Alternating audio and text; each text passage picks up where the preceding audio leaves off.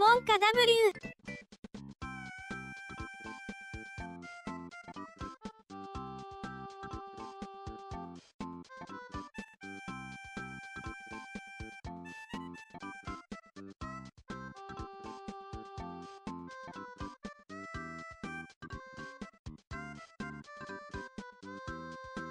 イゼ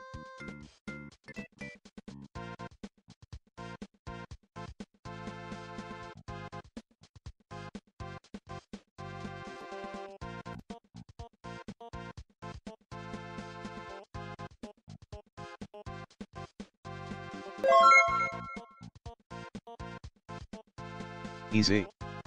E easy, easy, easy, e e easy.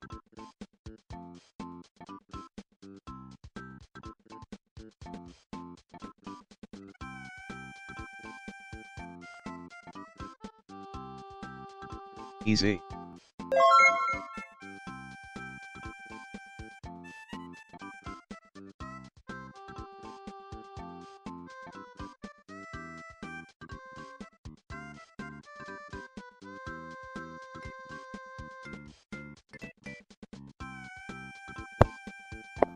So, da bin ich. Ey, ihr seid aber schon ganz schön viele. Community, ge Ja. Alle schon am Start. Ja, genauso stelle ich mir den Chat vor. Ich meine, ich bin auch nicht besser. Auf der Treppe. Was ist ein. Was ist eine. Du meinst so einen Stepper? Leon, Dankeschön für den Sub. Pog. Kekwe Business. Sorry, sorry. Nicht Kekwe Business. Kekwait Business, natürlich. Mario, danke für den Sub. Extremely. Easy. Alles. Soll ich euch auch mal erzählen, was mega Easy. ist? Also richtig nice. Irgendwie ging das voll an der gesamten Proggers-Welt vorbei, habe ich den Eindruck. Weil ich habe kaum einen drüber reden hören. Das müssen wir ausprobieren. Und zwar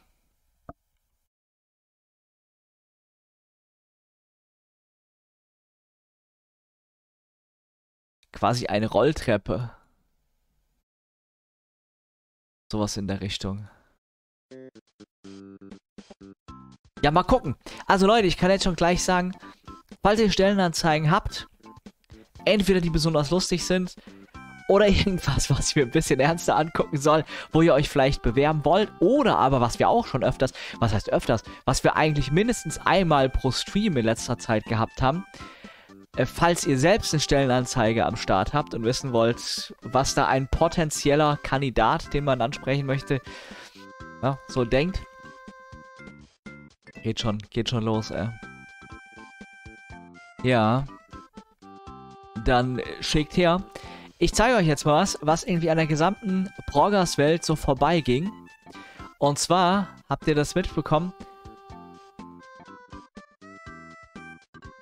Ah, was ist das? YouTube kündigt über VPN abgeschlossene Premium-Abos. Wie jetzt glauben die mir nicht, dass ich Inder bin? Woher wollen die das wissen? Racism, Alter. Das, die können das überhaupt nicht wissen, dass ich nicht Inder bin. Assumen die, dass ich nicht Inder bin. Alternat- Alternativ, alternativ bin ich Türke oder Brasilianer, da ist auch billig. Oder Argentinier. Das können die überhaupt nicht wissen. Anzeige ist raus. Oder vielleicht bin ich Ghana, Ga, Ga, Ghanalese, oder wie das heißt.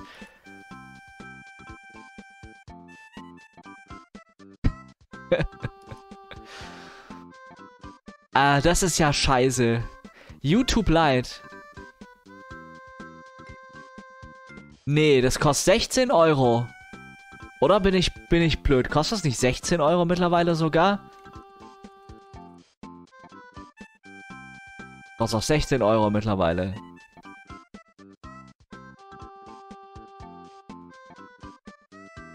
Erzählen. Ach, ich weiß, warum das 16... Ich, äh, ich glaube, ich habe mal bei der, ich glaube, ich habe mal über die Apple, also über die YouTube-App auf iOS geguckt, was es kostet. Und da kostet es ja mehr, weil Apple auch noch was, abgreift. Das ist alles ein Drecksladen, Mann. 13 Euro pro Monat, dafür kann man YouTuber, ja. Und Light für 6 Euro, die ausschließlich Werbung aus den Videos entfernt. Also, ich fand die Kombination aus YouTube Premium plus YouTube Musik für 1,50 Euro oder so aus Indien echt nicht schlecht. Razer, danke für den Sub.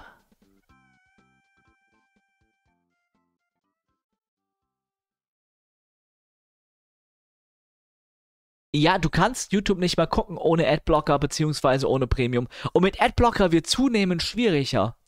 Ganzen Drecksäge, Alter. Als machen die nicht schon genug Kohle.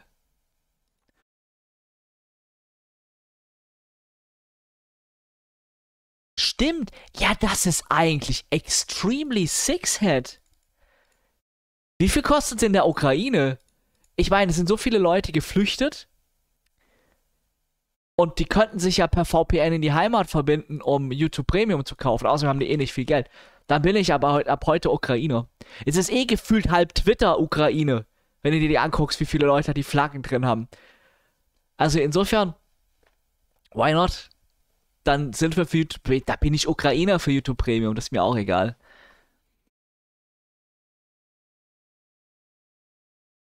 Welchen Frankfurter Streamer, welcher Frankfurter Streamer streamt da noch?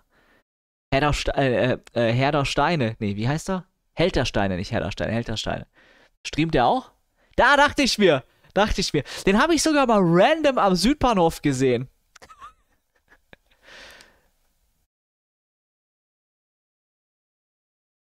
Ja.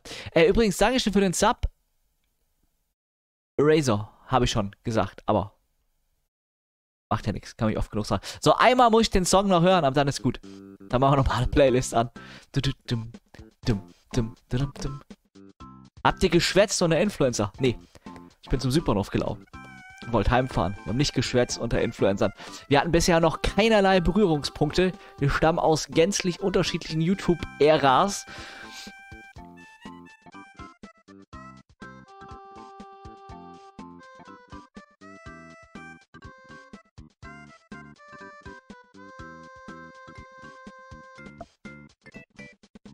Was geht mit meiner Maus ab? Chat, wer von euch ist das? Seid, seid, seid ihr drin, ja? Gebt's zu. Gebt's zu.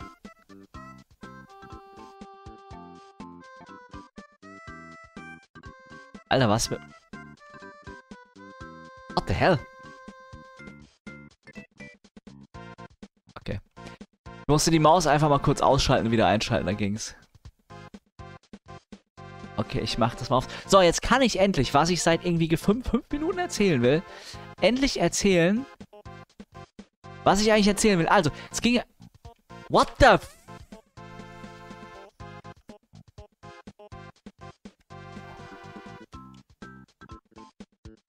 Was mit der Maus los? Das ist doch irgendwas mit OBS, was hier rumspackt, oder? Da ist doch irg irgendwas ist doch mit OBS. Ich habe die gerade einen ausgeschaltet. Aber irgendwas ist doch mit OBS. Ist was unter dem Sensor? Kann man den Sensor reinpusten?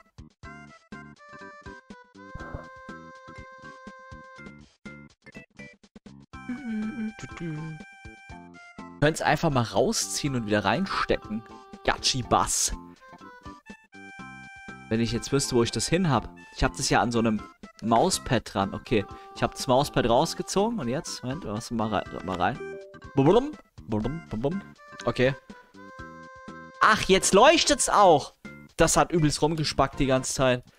Das glaubt der Empfänger war einfach gerade broken. So, aber jetzt kann ich endlich erzählen, was ich die ganze Zeit schon erzählen wollte. Und zwar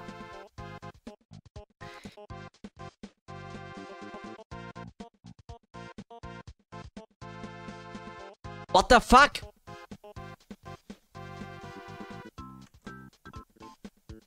Ach, ich war... Leute, ich weiß, was es ist. okay. Jetzt ist wieder gut, ne? Nein, ich weiß, was es ist. Lol.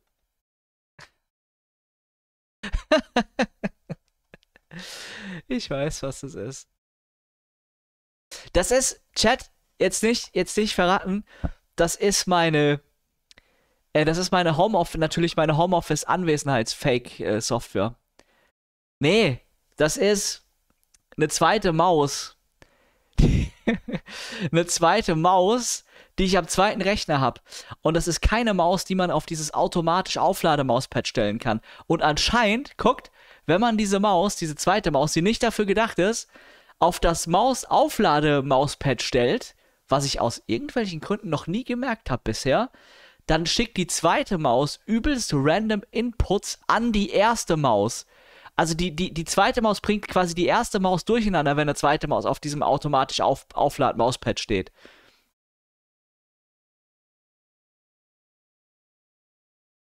Aber gut zu wissen, so kann ich das, so könnte ich das Ganze auch als Homeoffice-Anwesenheitsfähiger benutzen.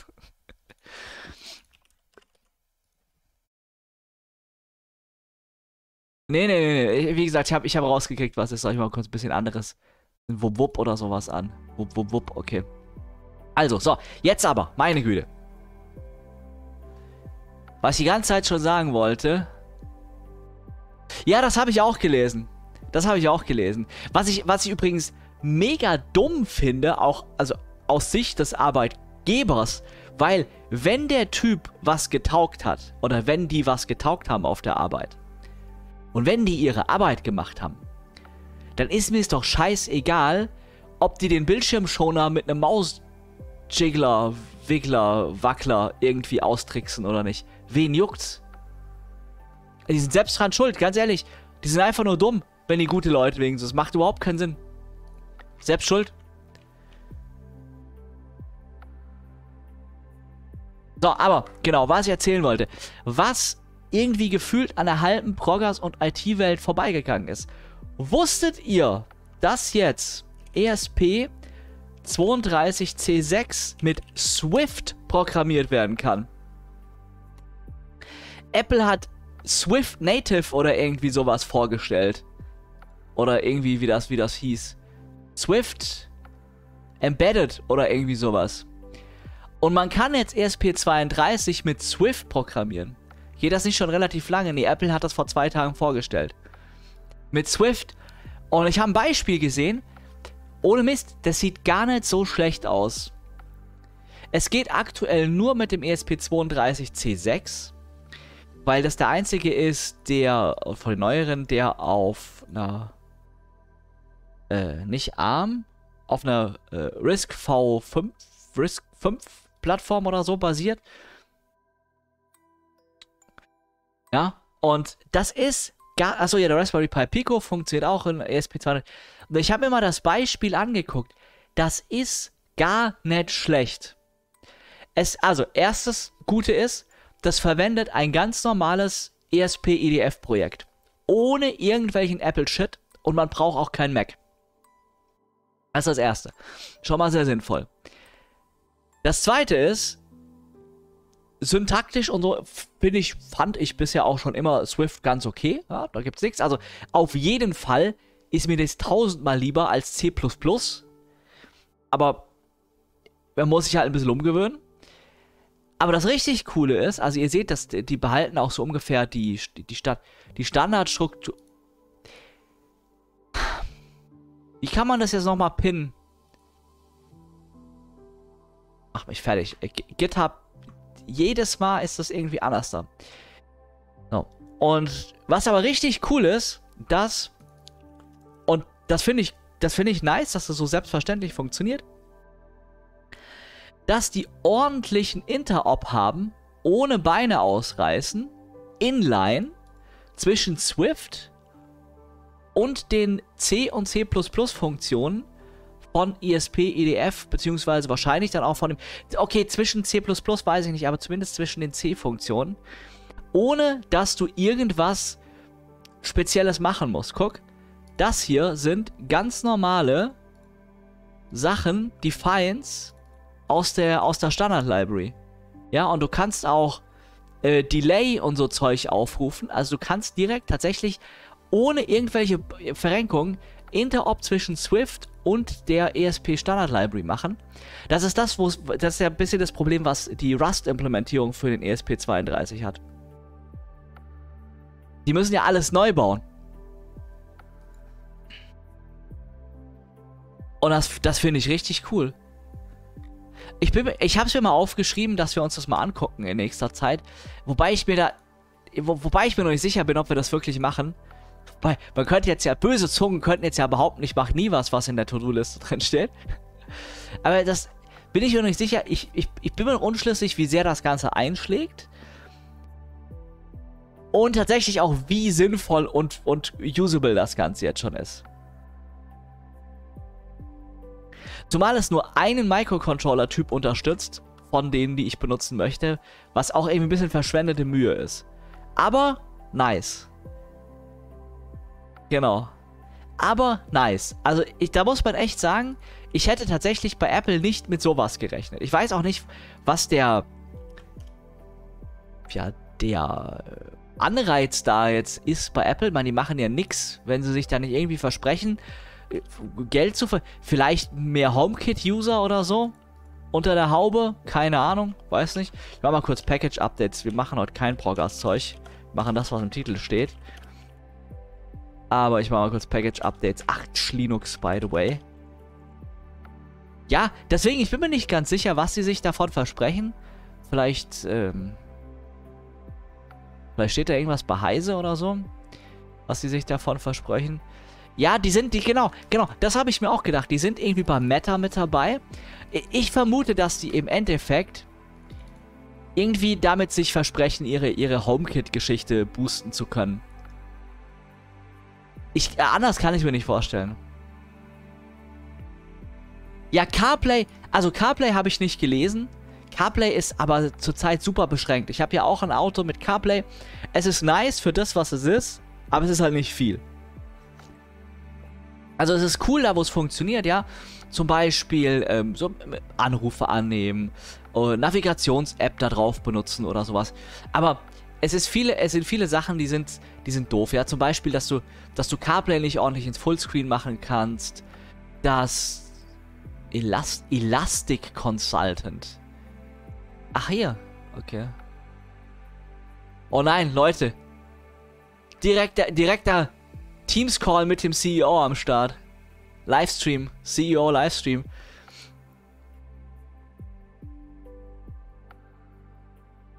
Ähm, ja, und äh, wenn ich jetzt länger drüber nachdenke, ach ja, und dass halt nichts an Audio-Video-Zeug richtig erlaubt ist. Also du hast, du kannst, äh, du kannst mit CarPlay kannst du äh, Playlists abspielen und sowas, aber du kannst beispielsweise nicht über CarPlay ein Video auf den Fernseher streamen nenne aufs Bildschirm, auf dem Bildschirm im Auto. Die sagen, ja, Safety Concerns.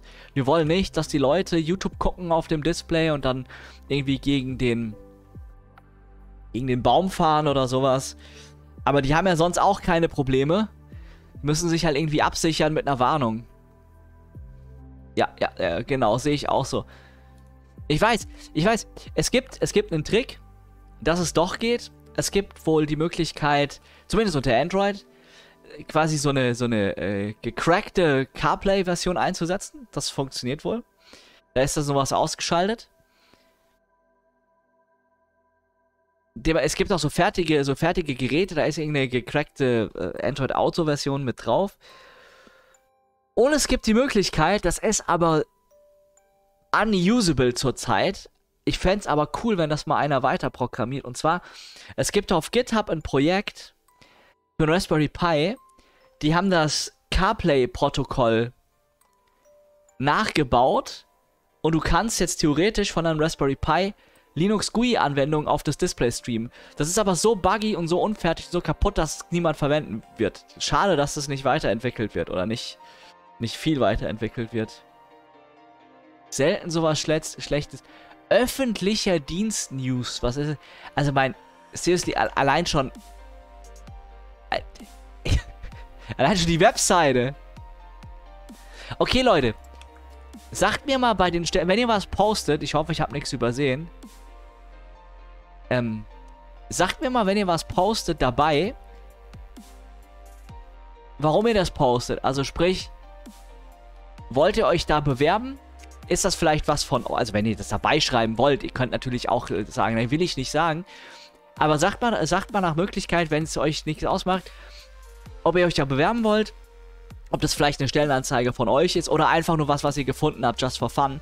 Weil dann würde ich nämlich die Stellenanzeigen, die nicht einfach nur just for fun gepostet werden, dass wir noch alles durchkriegen, also sprich die Stellenanzeigen, wo sich einer bewerben will, oder wo jemand selbst eine Stellenanzeige gepostet hat und wissen will, was wir von halten, äh, vorziehen, ja? Okay. Wann, wir haben doch schon angefangen gerade. Quasi jetzt. Mal gucken, was meine Package-Updates machen. Alle durch.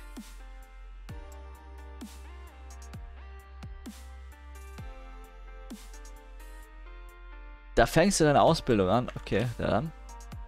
Komm, Razer, wir fangen damit an. Simply. Was war das? Das da? Boah, oh, oh. Sekunde, Leute. Eine Augen. Eine Augen. Das ist mir zu viel gerade. Boah, schon besser. Schon besser.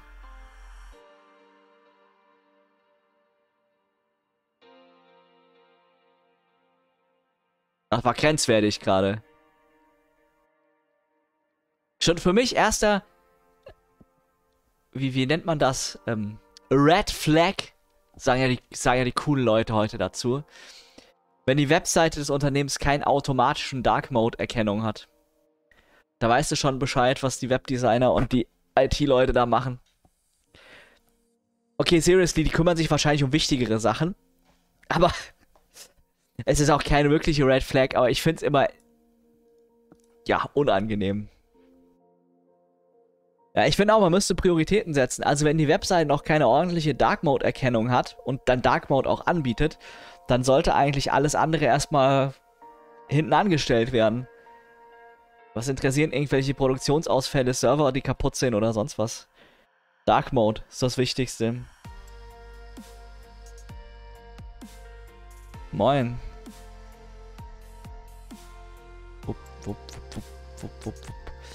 Ähm, nach Möglichkeit, mir sind Stellenanzeigen in Deutsch tatsächlich lieber als in Englisch.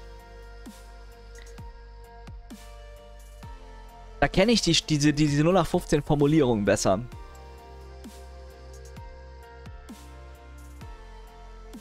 Ja, aber die Webseite, auf der die Stellenanzeigen am Ende landen, wenn das die Unternehmenswebseite ist, die wird ja auch, die wird ja nicht von HR gemacht. Und die kann ohne Probleme eine Dark Mode Erkennung haben. Am besten finde ich ja immer noch die Leute, die Stellenanzeigen irgendwie mit PDFs generieren und dann zu HTML umwandeln und sowas. So nach dem Motto, Personalabteilung schreibt ein Word-Dokument, schickt es irgendwo hin, daraus wird ein PDF gemacht, das wird dann konvertiert in HTML. Das, die Seiten sehen teilweise wild aus.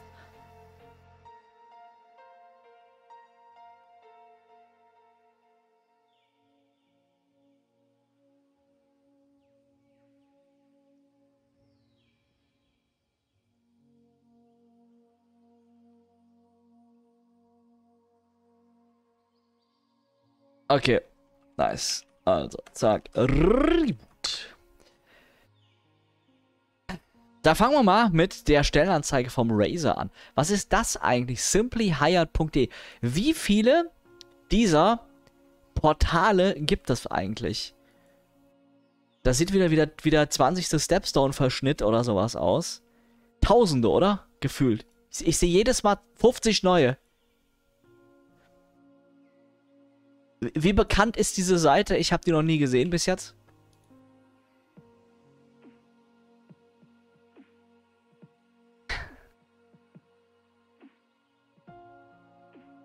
Ja, nee, das reicht ja nicht. Das reicht ja noch nicht. Win bis Sec Full Stack Ops. Full Stack. Mit Se Se Senior Win bis Sec DevOps Vollstack. Das brauchen wir.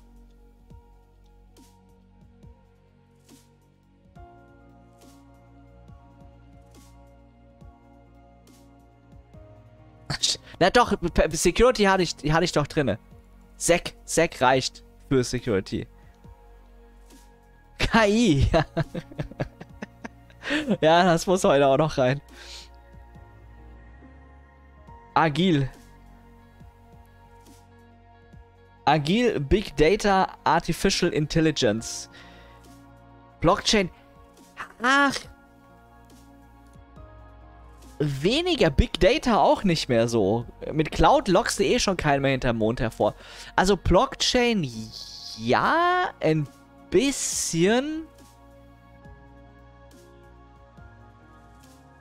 Das kann ich euch zumindest aus eigener Erfahrung sagen. Also gerade die Frankfurter Finanzbranche, die guckt tatsächlich zurzeit nach, äh, also gibt es einige Stellen, die was mit äh, Richtung Blockchain zu tun haben, weil der Hype jetzt insoweit abgeflacht ist, dass da auch die ganzen Oldschool-Versicherungen und Banken und alles jetzt mal anfangen, dass sie das da gehört haben.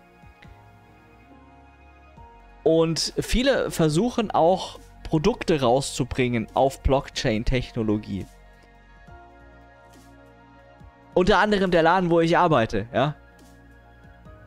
Womit ich auch äh, Geld verdiene zurzeit. Nicht, dass ich, witzigerweise, ich kenne mich damit jetzt auch nicht so viel besser aus als vorher. So ein paar Basics weiß ich mittlerweile, aber hält in Grenzen. Muss ich, muss ich aber auch nicht, um das Kubernetes-Zeug dafür zu betreiben.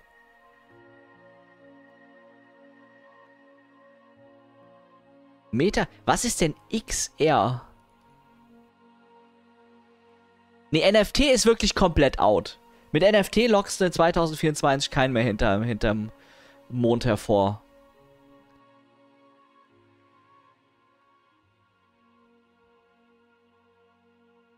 Ja, Cloud sagt ja heute auch keiner mehr. Es ist, wenn schon Hyperscaler. Extended Reality. Sag mal, Max, machen die Banken schon was in Richtung digitaler Euro? Das. Ah, weiß ich nicht. Okay, dann lasst uns das mal angucken, was der Razer gepostet hat. Wen, wen, was suchen sie denn hier? Ein MS Dynamics? Oh, das klingt, das klingt aber hardcore nach Business Enterprise stells, oder? Microsoft Dynamics. Das habe ich schon öfters gehört, auch bei mir auf der Arbeit. Ich habe ehrlich gesagt gar keinen Plan, was das eigentlich genau ist. Was, was ist das überhaupt? Wo wir gerade schon dabei sind. Business Applications. Enter the era of AI. Ja, was sonst? Microsoft schwätzt den ganzen Tag nur von AI.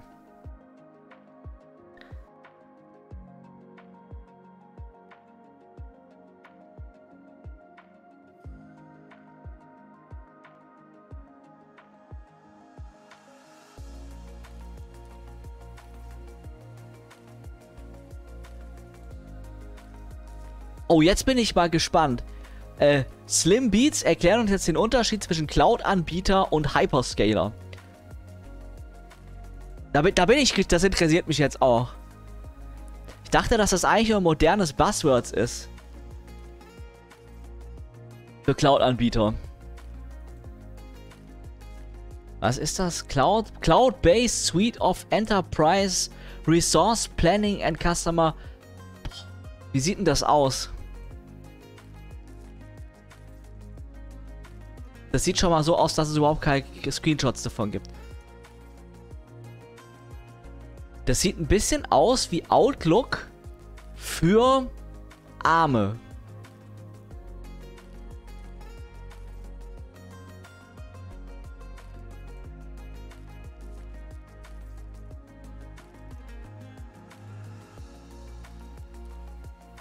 Hallo Max, hast du von der Trennung von dein...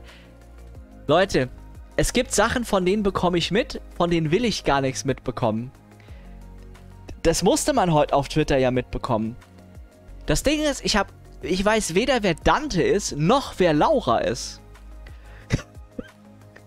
ich habe nur mitbekommen, dass dann die Ex-Freundin von Dante auch noch gepostet hat. ich habe keine Ahnung, wer das ist. Das, äh, auf die Schnelle habe ich gesehen, das ist irgendein League of Legends Pro oder sowas. Keine Ahnung, Mann. Ich weiß auch nicht, warum sowas heutzutage so breit auf Twitter diskutiert wird. Ich meine, seriously, wen juckt's? Wen juckt's? Ich versteh's nicht.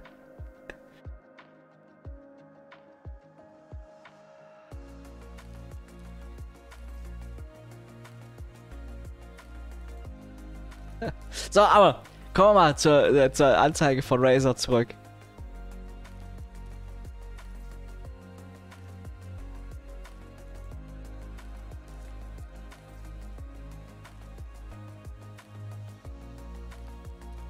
Ja, Microsoft flippt komplett aus. Bei jeder Präsentation erzählen die was zu AI. Letztens hat sich mein... Ich wahrscheinlich muss ich mal überlegen, dass ich jetzt nicht zu viel erzähle. Äh, letztens hat sich einer bei uns auf der Arbeit aufgeregt darüber, dass in den Terminen mit Google tatsächlich, also die Google-Leute scheinen da ein bisschen mehr IQ zu haben als die Leute von Microsoft, dass die Google-Leute tatsächlich auf Probleme von Finanz, Finanz, äh, der Finanzbranche eingeht bei Präsentationen und Terminen. Und Microsoft ist eigentlich überhaupt nicht interessiert und sie drei Stunden über AI reden. Und genau das hatte ich mir im Vorfeld, bevor er das erzählt hat, auch so gedacht. Also nicht, dass Google tatsächlich so gut drauf eingeht, aber dass Microsoft einfach drauf scheißt, was eigentlich Sache ist, sondern drei Stunden über AI redet. Das ist genau das, wie ich mir Microsoft-Präsentationen irgendwelche Sachen zurzeit vorstelle. Ach Moment, ihr habt ein Problem mit Kubernetes-Verfügbarkeit in Azure. Habe ich euch schon erzählt, dass wir jetzt auch AI haben? das ist halt die Microsoft-Taktik. Ja, aber Microsoft, uns würde doch mal schon interessieren, wie ihr denkt, das mit Storage-Anbindung zu machen. Und wie war das übrigens nochmal mit euren Sicherheitsproblemen in letzter Zeit? Ja, aber wir haben jetzt AI, Leute. Guckt mal, hier habt ihr schon neues ChatGPT 4.0 gesehen. Nee, 4.0. Nee, wie heißt das Ding? Light. Ja, ich habe schon wieder vergessen.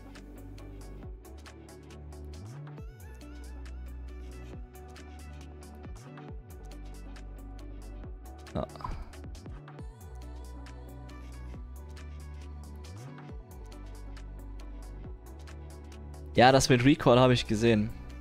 Ist das Recall? Das ist dieses automatische Screenshotte. Ich kann es auch nicht mehr hören, ey.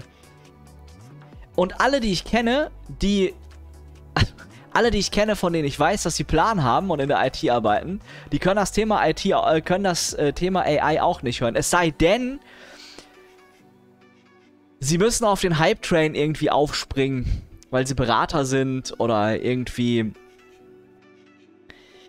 damit schwimmen müssen. Aber wenn du die dann fragst, was ihre ehrliche Meinung ist oder wenn du die privat kennst, also von allen Leuten, von denen, sagen wir mal, ich persönlich was halte, die sind auch mehr oder weniger genervt von dem, von dem Thema. Ich glaube, es sind sich alle darüber einig, dass uns das Thema in nächster Zeit erhalten bleiben wird, dass sich noch einiges tun wird. Aber jeder Satz, den ich jetzt sage, geht mir persönlich schon auf den Sack, weil ich wieder über das Thema rede.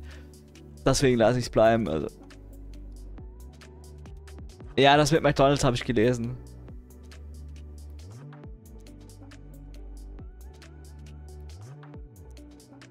Okay, also, jetzt lass uns mal das, die, die Stellenanzeige von Razer gucken.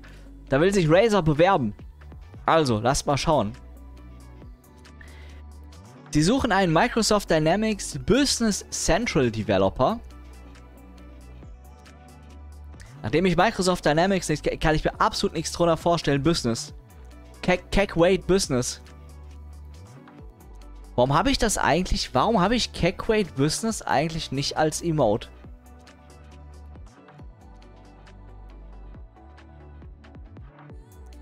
Cackweight Business.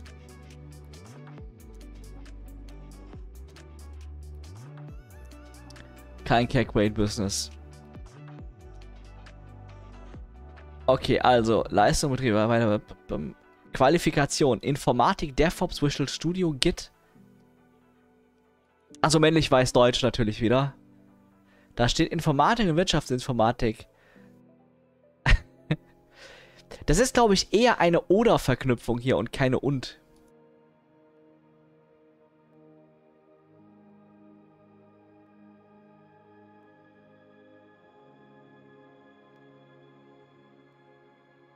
Okay, also.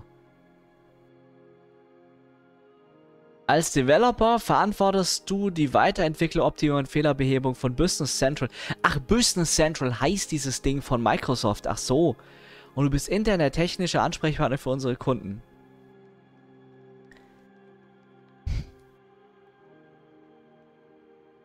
Widerspricht sich das nicht schon in sich? Dass du intern und Ans Ansprechpartner für Kunden bist? Oder ist das dieses typische Business Speak? Wir sind Abteilung A, Abteilung B ist unser Kunde oder so?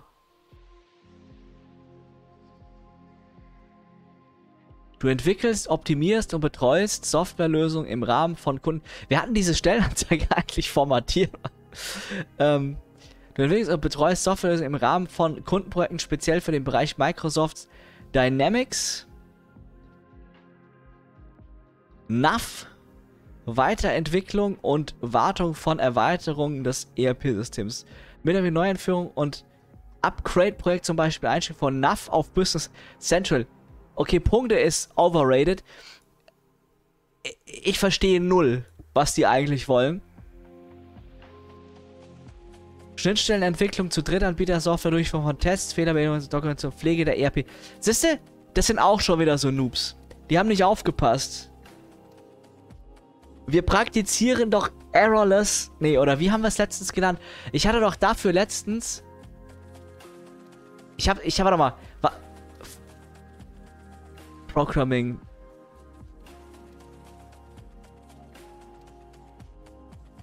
Ich hab's vergessen, wie ich das letztens genannt habe. Einfach ohne Fehler programmieren. Easy.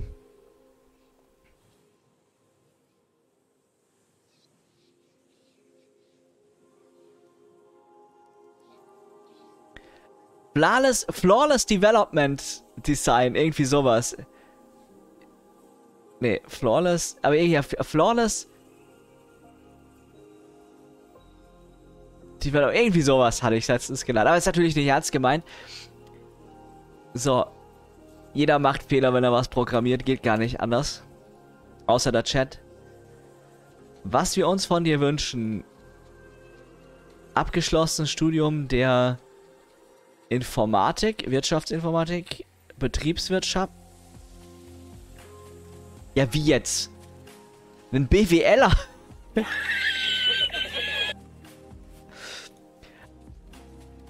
oder vergleichbare IT-Ausbildung. Gerne auch talentierte Quereinsteiger mit Fachbezug, mehrjährige Erfahrung. Also ein paar Punkte würden dieser Stellenanzeige echt gut tun.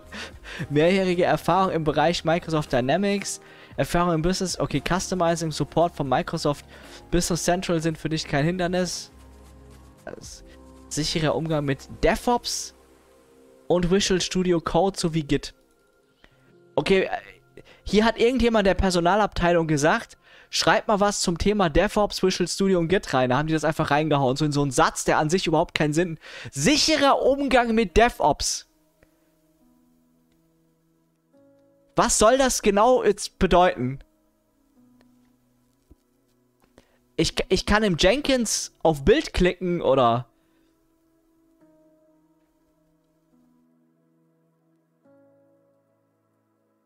Die meinen Azure DevOps. Ja, das ist dann schon wieder ein bisschen was anderes. Da muss man aber auch dabei schreiben.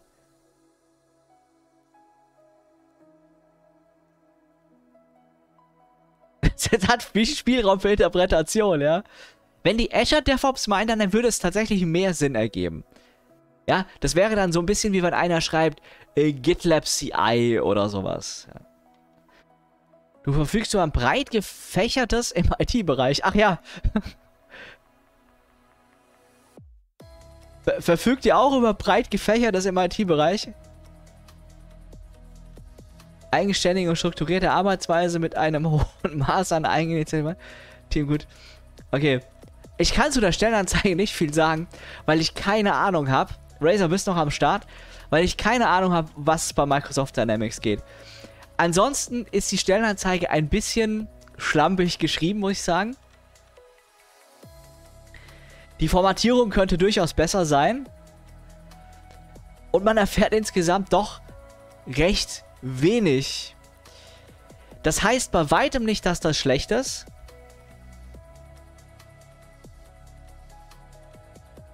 Warum sollst du gefeuert werden? Kannst du. Oder hast du die geschrieben? Hast du die geschrieben?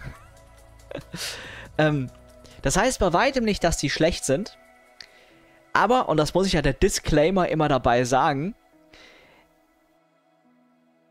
so eine Stellenanzeige ist ein bisschen wie das Anschreiben von einer Bewerbung. Das ist das erste Mal, dass wir mit dem jeweiligen Unternehmen in Kontakt kommen, wenn wir die noch nicht kennen im Vorfeld. Das heißt, das ist so der erste Eindruck, ja, und um den ersten Eindruck geht's ja. Also es kann durchaus sein, dass die richtig gut sind. Jetzt eine super tolle Stellenanzeige, muss ich sagen, ist es jetzt nett. Was ich gut finde, ist, dass die Homeoffice direkt erstmal offensiv da reinschreiben. Wie das dann praktisch gelebt wird, ist ja, steht ja immer noch ein bisschen auf dem anderen Blatt.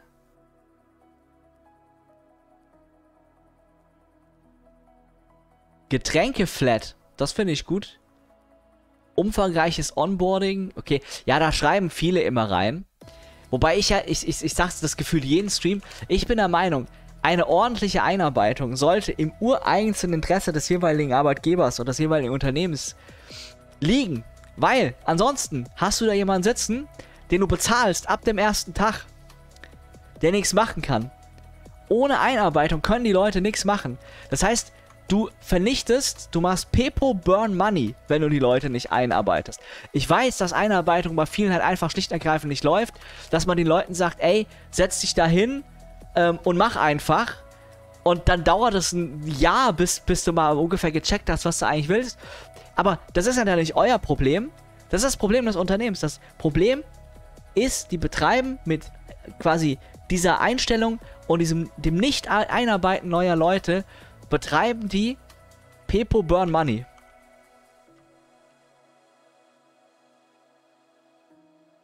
Das hier machen die da.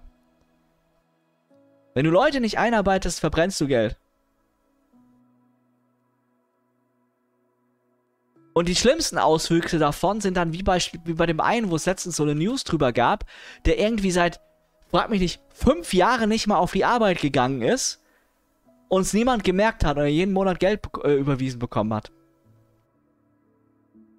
Ihn kannte niemand, der war, war irgendwie bei meinem Abteilungswechsel und der, ja, ist das so durchgefallen. Keiner kannte ihn, er war einfach nicht da und er war aber nie, nie weg.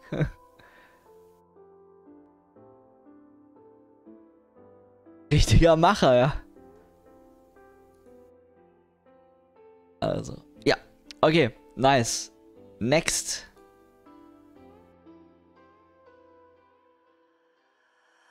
Defk. Das sieht schon sehr hipster aus, wenn ich das Bild sehe. Aber wenigstens, wenigstens der ist schon mal gut drauf der hat nicht noch nicht so viele Daily Scrums machen müssen, ja, als sie das Foto, ge Foto geknipst haben.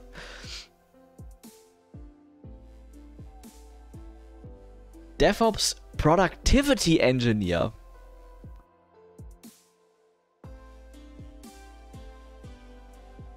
Moin.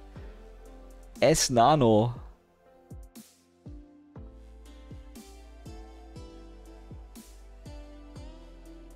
Okay, sie suchen einen DevOps, äh, DevOps, genau, einen DevOps Productivity Engineer. Ich bin jedes Mal überrascht, wenn wir so einen Stream machen. Wir machen das ja ungefähr einmal im Monat. Das heißt, wenn euch das gefällt und euch gefollowt seid, ja, würde mich freuen. Und, und Chat Community ge. Ähm, was mich jedes Mal wundert ist, wenn ich, wenn wir diese Streams machen, ich mir das angucke, wie viele neue kreative Jobbezeichnungen es immer gibt gefühlt jedes Mal irgendwas Neues, wo einer ein paar Wörter randomized hat.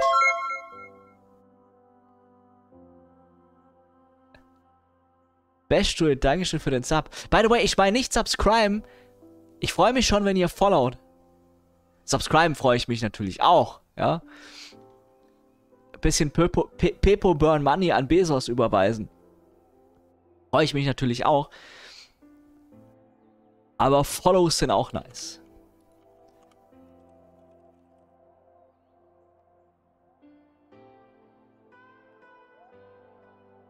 Ja, die C++ Streams, die ich letztens gemacht habe, zu meiner, ja, wie soll ich das nennen? Zu meiner Überraschung, aber gleichzeitig auch zu, zum leichten Pains Champ, habe ich festgestellt, dass die C++ Streams sehr erfolgreich waren, was Zuschaueranzahl anging, neue Follower und alles. Was im Endeffekt eigentlich heißen müsste, wir müssen noch äh, regelmäßig öfters Progress-Projekte auf dem Microcontroller mit C++ machen. Das Problem daran ist, dass C++ so eine abgrundtiefe Schrottsprache ist, Alter.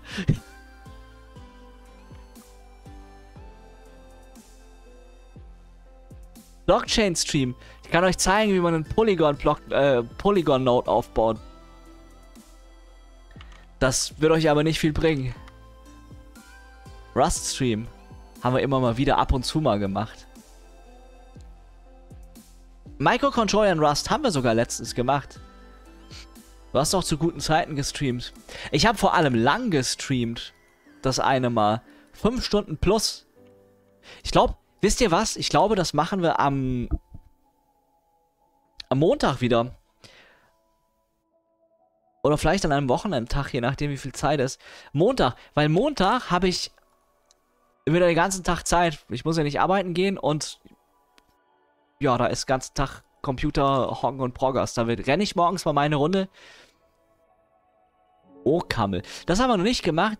Aber was wir im Stream schon mal gemacht haben, ist Kobol. Tatsächlich.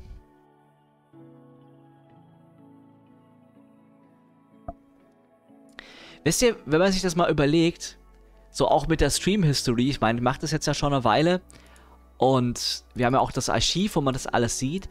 Wir haben echt alles schon irgendwie mal gemacht, oder?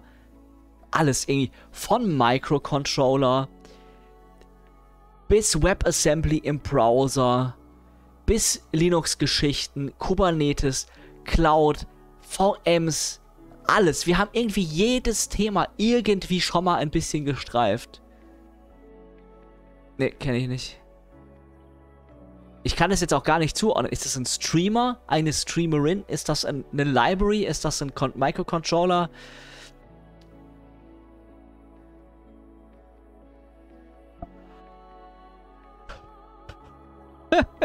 ja.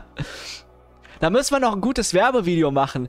Was macht eigentlich Carlos Matos von New York City aktuell so? Vielleicht können wir den ja dafür gewinnen.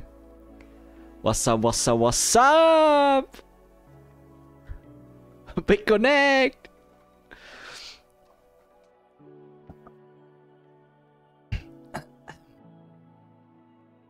Das stimmt, ja, richtig. Ich habe ja auch gesagt, nicht, dass ich alles schon gemacht habe, sondern dass wir jeden Bereich schon mal gestreift haben. Okay, das haben wir tatsächlich nur sehr am Rande mal gestreift. Wir haben mal ein paar Mal .NET-Anwendungen die compiled.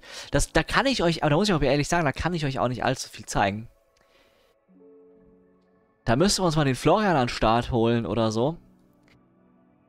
Ich hatte ja, ich hatte ja schon mal seit einer, seit einer Weile äh, geplant mit einem unserer Berater von der Arbeit, der nicht mal bei uns auf der Arbeit ist, der aber mal da war als Berater, daher kenne ich den, der witzigerweise auch äh, mein YouTube-Zeug kannte. Wir wollten mal einen Kubernetes Security Stream machen, weil damit verdient er sein Geld und das war einer der wenigen Berater, muss ich ehrlich sagen, die mir so bisher unter, äh, äh, unter die Augen gekommen sind, von dem ich mich beraten gefühlt habe, ja. Das kommt selten vor. Die meisten Berater haben das Wort Bera Beratung, also mit Beratung nichts zu tun, ja. Also, Consultant ist ja im Prinzip das englische Wort für Berater. Also, jemand, den du fragst, wenn du selbst nicht besser weißt. Und ganz ehrlich, die meisten Consultants und Berater, die ich bisher, bisher gesehen habe, außer mal eine Handvoll vielleicht, die hättest du eigentlich auch nicht zum Beraten gebraucht. Ja, DirectX haben wir auch mal ein bisschen rumgebastelt, haben einen Videoplayer gemacht. Ich weiß ja, haben wir auch gemacht. Also ich hatte in letzter Zeit tatsächlich nur zwei Berater, von denen ich äh, ganz guten Eindruck hatte. Nämlich der eine, der sich mit Kubernetes Security auseinandersetzt. Der hatte wirklich sehr viel Ahnung. Von dem konnte ich mich auch beraten lassen, was ja nicht oft vorkommt. Und der andere war eher so Richtung BWL-Kram und hat sich mit um unsere Blockchain-Sachen gekümmert.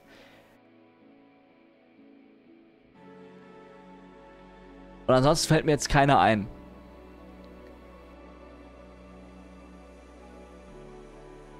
So, also ja, dann lasst uns mal angucken. Was wollen die hier denn? Defk.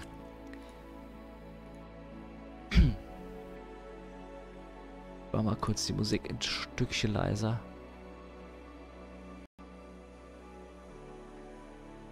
Okay. Also, was wollen die hier denn haben? Defk.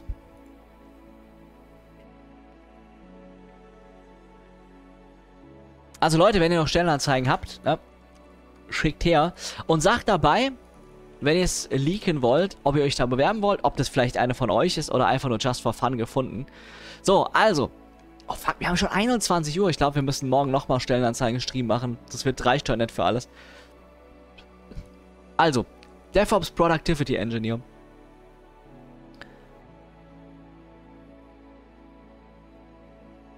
Hast du Lust, die Entwicklungsinfrastruktur und Abläufe in den Devk zu optimieren? Wer ist denn die Devk überhaupt? Wobei, das erzählen sie uns jetzt sicherlich gleich. Oder? Nee, weiß nicht. Devk.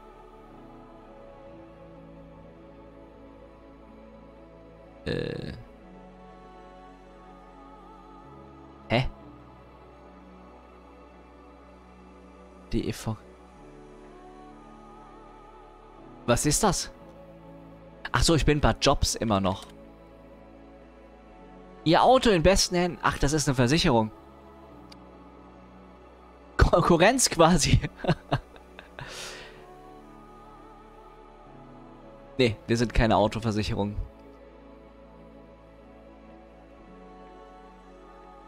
Außerdem bin ich hier private. Okay, alles klar, Autoversicherung. So, zeig mal her.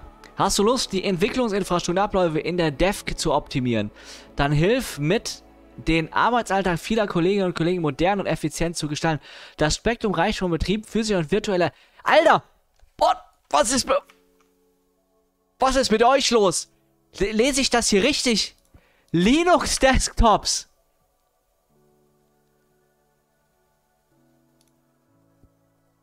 Was ist denn mit denen los?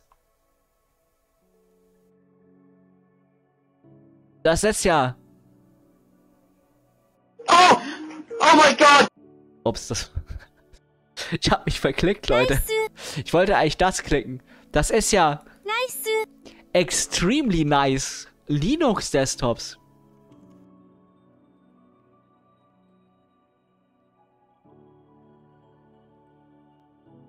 Für Entwicklerinnen und Entwickler über Erstellen von Guides bis hin zum Evaluieren und Bereitstellen von Tooling wie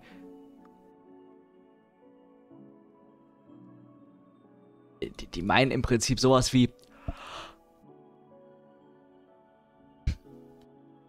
wie äh, Cloud9 oder so, wie das früher hieß. Oder diese, dieses Visual Studio im Browser oder was auch immer. Aber Browser-IDEs?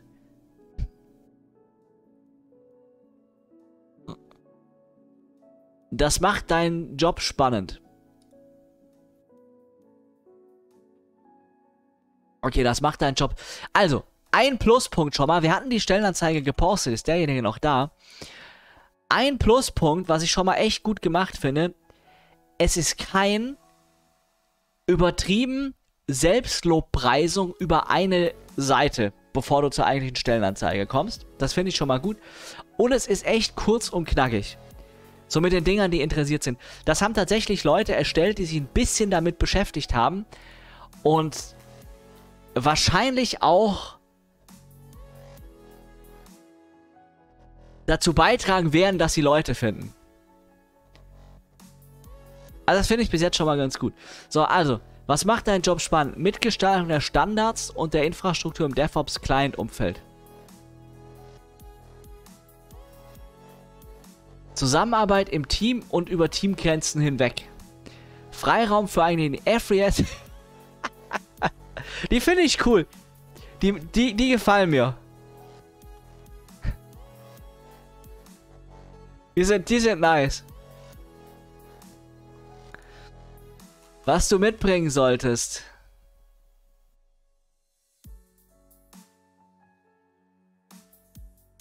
Okay, dann machen wir Giant Master, dann machen wir die als nächstes.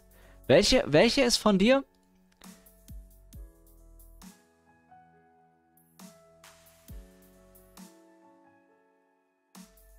Co-EO? Was? Weiß, habe ich jetzt nichts.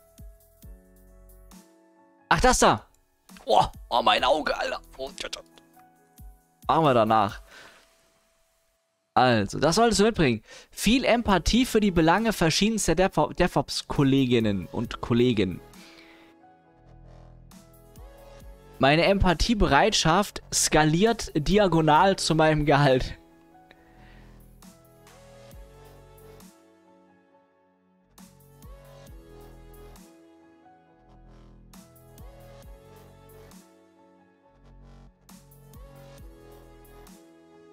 Ähm, umfangreiche Erfahrung mit Linux-Distribution im Desktop-Umfeld, idealerweise auch mit Apple, macOS und Windows. Solide Kenntnisse im OS-Package-Management, Grundwissen im Bereich Docker, Kubernetes, Helm. Da würde ich tatsächlich sagen, normalerweise würde ich von ausgehen, dass gerade im DevOps-Umfeld das hier Pflicht ist, wobei die das irgendwie ein bisschen anders äh, auslegen.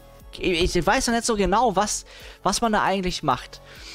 Ausgeprägtes Interesse an Automatisierung und Infra Infrastructure as nee, Infrastructure Config as Code, hohes Bewusstsein für die Zuverlässigkeit, Firmware, von IT, gutes, gutes Verständnis mit Compliance, Security, ja gut, Versicherung, gesunder, gesunden Pragmatismus bei der Umsetzung von Anforderungen, okay? Darauf darfst du dich freuen.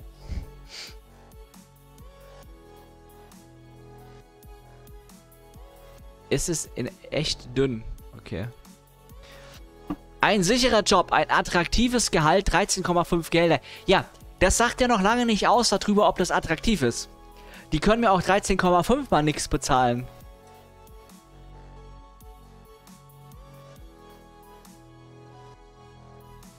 Hast du irgendwelche Ideen, woran das liegt? Kernel Update fixt alles früher oder später. Ja, ich weiß nicht, es hängt davon ab, was du benutzt. Benutzt du Puls Audio, Pipewire, äh, nur Alsa, nix drüber. Keine Ahnung.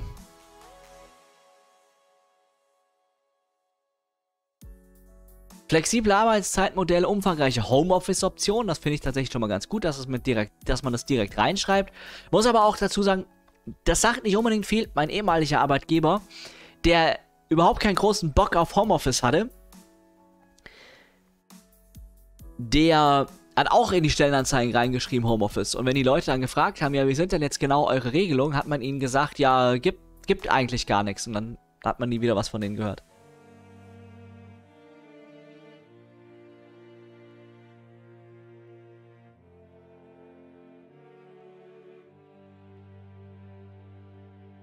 Zahlreiche Trainings- und Lernangebote, okay, über unsere Kooperationsfamilie. Okay, das haben viele sowas in der Richtung.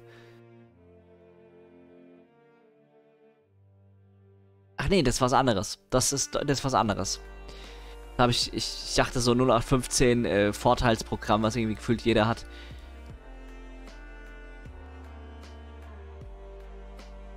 Umfangreiche Beratung. Okay. Attraktiver Standort, sehr gute Anbindung. Deutsche Bahn. Ja. Die Anbindung alleine reicht nicht bei der Bahn. Ein Betriebsrest. Das ist nice. Kantine ist immer gut. Bike-Leasing, Fahrticket-Zuschuss. Darauf darfst du dich freuen. 30 Urlaubstage, betriebliche Fahrt. Ja, finde ich nicht schlecht. Leute, bewerbt euch bei Tanja. Also ich finde ich find die Anzeige nicht übel. Kurz und knackig. Ja, die hundertprozentig perfekte Anzeige gibt es nie. Mir, mir wurde jetzt, mir wurde tatsächlich jetzt ein bisschen wenig klar, was sie jetzt eigentlich genau wollen. Soll sie sich um Automatisierung für Linux-Desktops kümmern? Aber auch ein bisschen Docker und Kubernetes? Hä? Aber, also, ich finde es aber trotzdem nicht schlecht. Ja, 30 Tage ist eigentlich normal. Ja. Außer man arbeitet weniger. Ich arbeite nur 80%, ich krieg keine 30 Tage. Hätte ich aber auch nichts dagegen, würde ich auch nehmen. Ja. Also ich fand ihn nicht übel, die Stellenanzeige.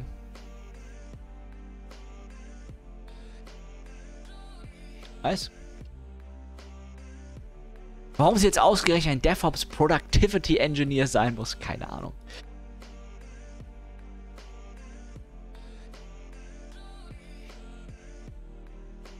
Ab welchem Gehalt würdest du runtergehen auf 80%? Kann ich dir nicht sagen. Ich bin schon auf 80% runtergegangen, da habe ich noch nicht viel verdient. Das war zu Zeiten, als ich dann richtig mit YouTube angefangen habe. Und festgestellt habe, man kann ja auch mit YouTube Geld verdienen. beziehungsweise mit Sachen drumherum. Und da habe ich das reduziert auf vier Tage Woche. Das war 2011 oder so. Und damals habe ich noch nicht fett verdient. Also, keine Ahnung. Ich würde es immer machen. Sofern möglich. Und natürlich, natürlich, sagen wir mal so, sobald du deine Wohnung bezahlen kannst und nicht obdachlos sein musst und nicht verhungerst, ja, sobald du die Basic-Sachen, die für dich relevant sind, dir leisten kannst, kannst du runtergehen.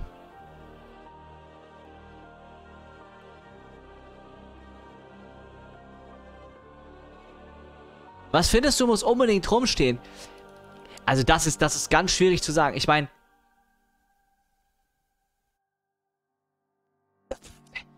da, da, muss man jetzt wissen, was ihr eigentlich genau haben wollt. Ja, Fullstack, Dev für was? Äh, was soll er machen? Genau, also,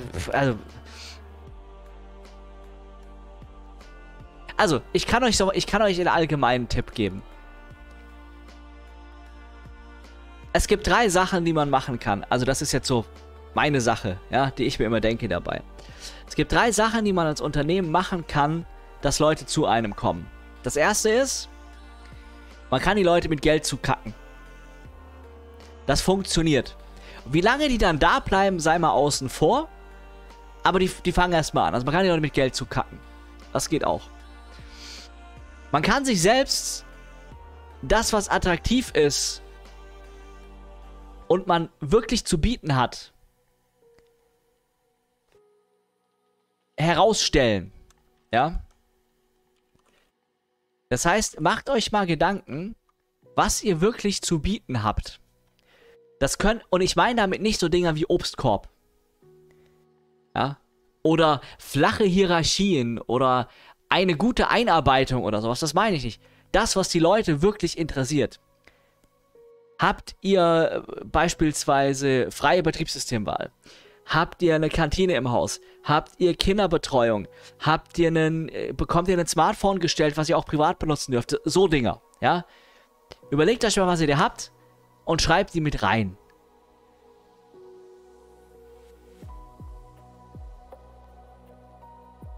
Ja, das sagen halt alle.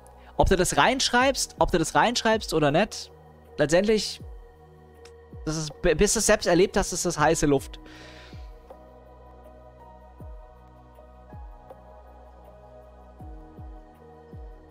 Und ansonsten wäre es vielleicht nicht schlecht, weil Fullstack kann ja im Prinzip von wir suchen eine halbe IT-Abteilung, können uns aber nur einen leisten, bis zu wirklich äh, spezifischen Sachen sein, die ihr sucht.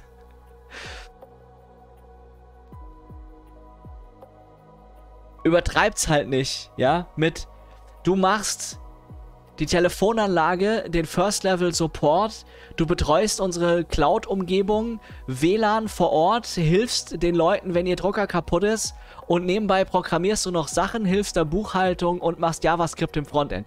Also so ein Mist sollte man nicht reinschreiben. Kürzeren Bewerbungsprozess also das kann man vielleicht mal erwähnen. Aber ich denke, tatsächlich reinzuschreiben, was man denn, wenn man denn Vorteile hat, gibt ja Unternehmen, da gibt es ja nicht allzu viel, schreibt das rein. Und wenn ihr, und wenn ihr den Kram gut bezahlt, und geht mal wirklich in euch, ob ihr den gut bezahlt, weil es schreibt jeder rein, äh, überdurchschnittliche Vergütung oder sowas. Früher haben sie immer reingeschrieben, ein marktübliches Gehalt. Das ist auch schon mal so ein Ding, wo ich mir denke, oh, ähm, es schreiben alle rein irgendwas von guter Vergütung. Vielleicht könnt ihr eine Range reinschreiben oder sowas. Das finde ich auch immer gut. Ja? Höhenverstellbare Schreibtische, moderne Arbeitsplätze. Das sind durchaus so Dinger, die kann man da reinschreiben.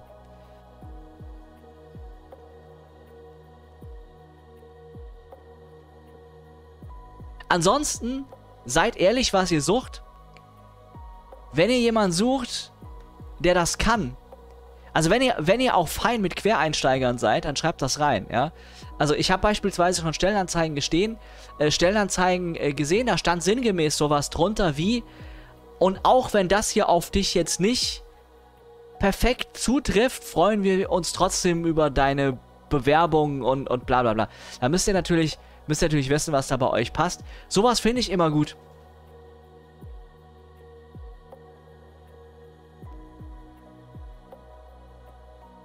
Okay, dann lasst uns jetzt mal schnell hier angucken, was bei C O E O IT abgeht.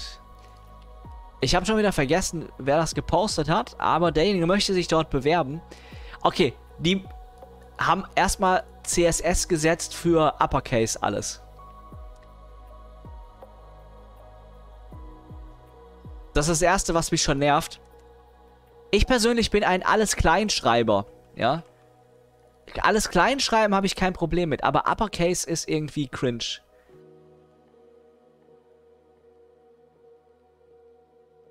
Ja, wenn ihr Full Remote sucht und anbietet, würde ich Full Remote auch reinschreiben.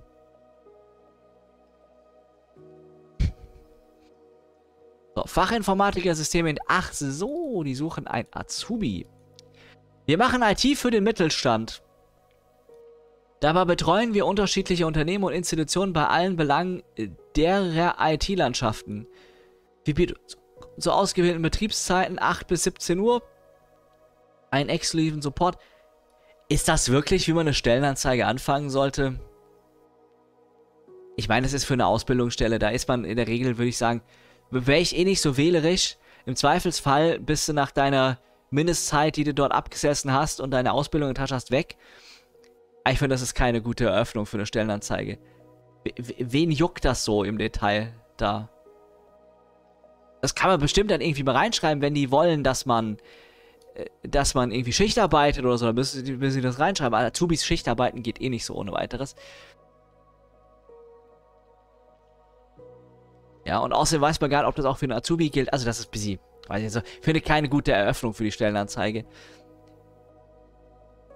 Sie bieten einen exklusiven Support an, den wir durch diese Stellenanzeige... Moment, die suchen keinen Out, die suchen kein Azubi. Die suchen kein... Die suchen tatsächlich einen Fachinformatiker Systemintegration. Das haben wir hier schon mal gesehen, aber äußerst selten. Die meisten Leute suchen keinen Fachinformatiker Systemintegration. Du machst eine Fachinformatiker Systemintegration Ausbildung, aber danach wird irgendwas anderes gesucht, ja? Im Endeffekt, im Endeffekt suchen die einen Support-Mitarbeiter oder ein IT-Support-Engineer oder whatever man da schöne, schöne Konstruktionen an Jobs drumherum bauen kann.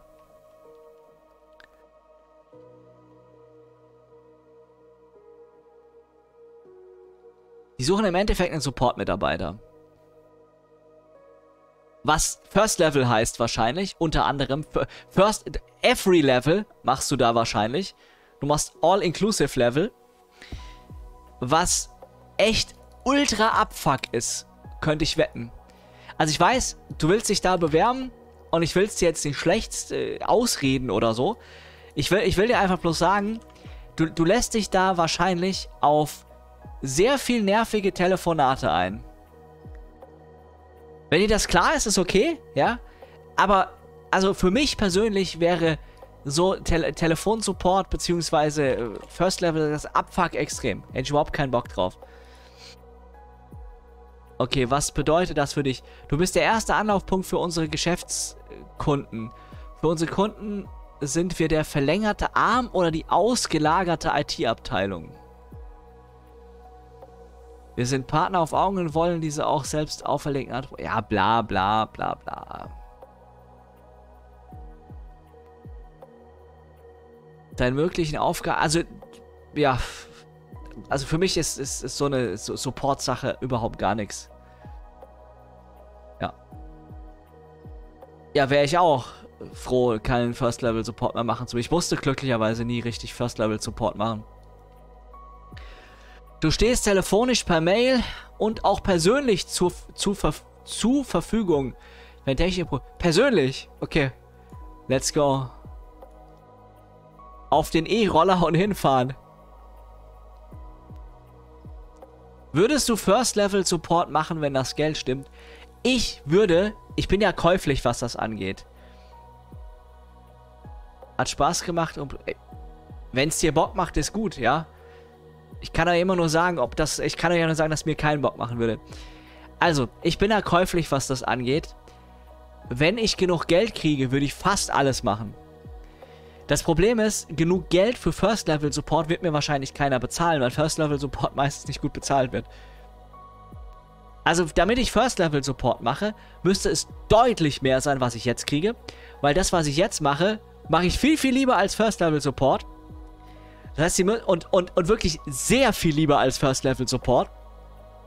Das heißt, sie müssten mir mal mindestens das Doppelte bezahlen, dass ich auch nur dran denken würde, First Level Support zu machen. Und das bezahlt mir für First Level Support keiner. Und selbst dann würde ich es mir überlegen. Weil mehr Geld ist nice, aber sagen wir mal so, seriously, ab, ab, einer, ab dem man gut auskommt mit der Kohle, ist weitere Kohle cool, aber nicht um jeden Preis so.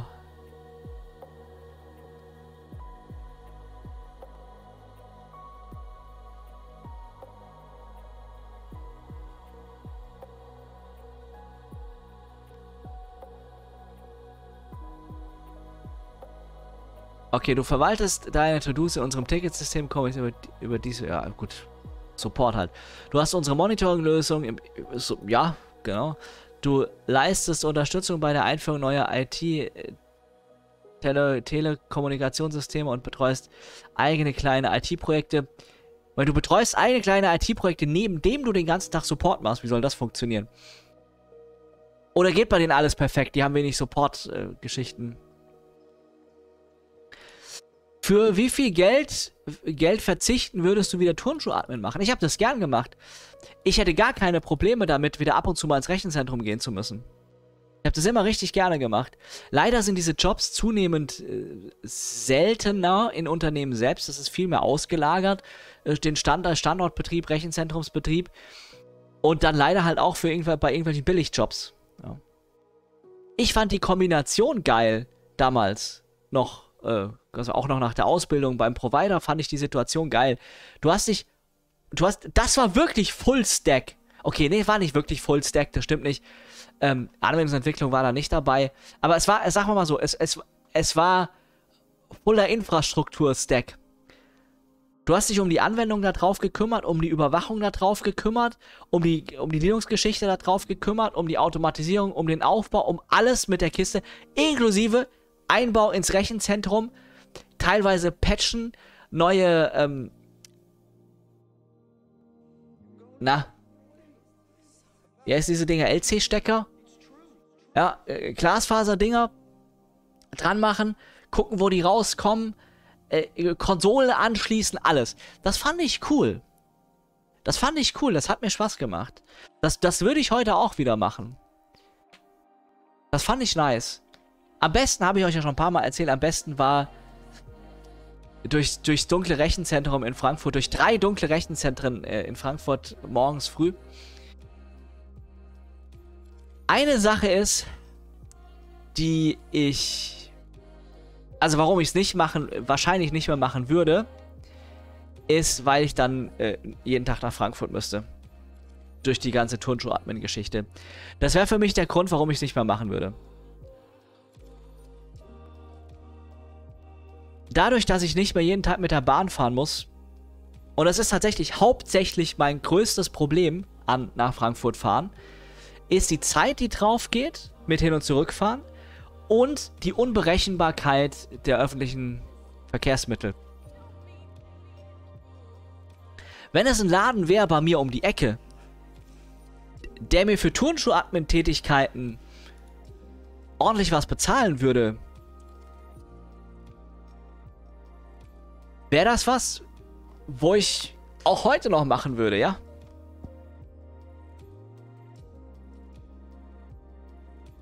Wer mal versucht hat, ein Plate Center alleine ins Rack einzubauen, der weiß, wie, wie, wie sowas ist. Äh.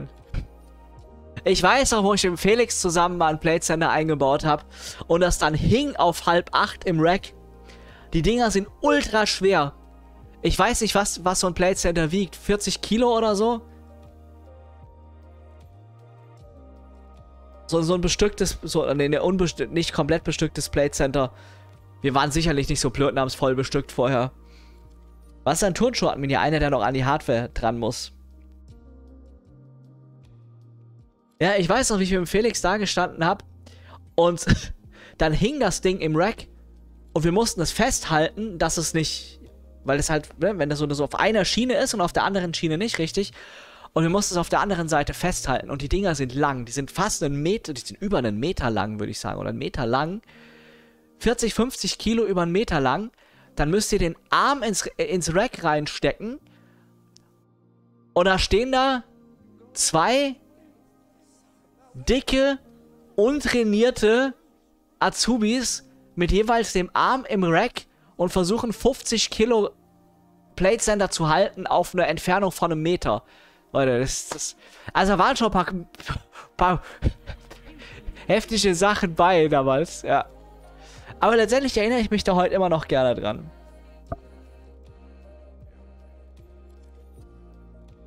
Weiß ich nicht. Kann ich nicht sagen. Habe ich nie gemacht. DevOps Cloud Engineering, da kann ich, da, da kann ich tatsächlich aus erster Hand raus berichten. Äh, Network Engineer weniger. Übrigens, dazu kann ich was sagen zum Thema Network Engineer. Vielleicht wäre das ja auch mal was. Äh, und zwar fällt, fällt mir nur gerade ein. Und zwar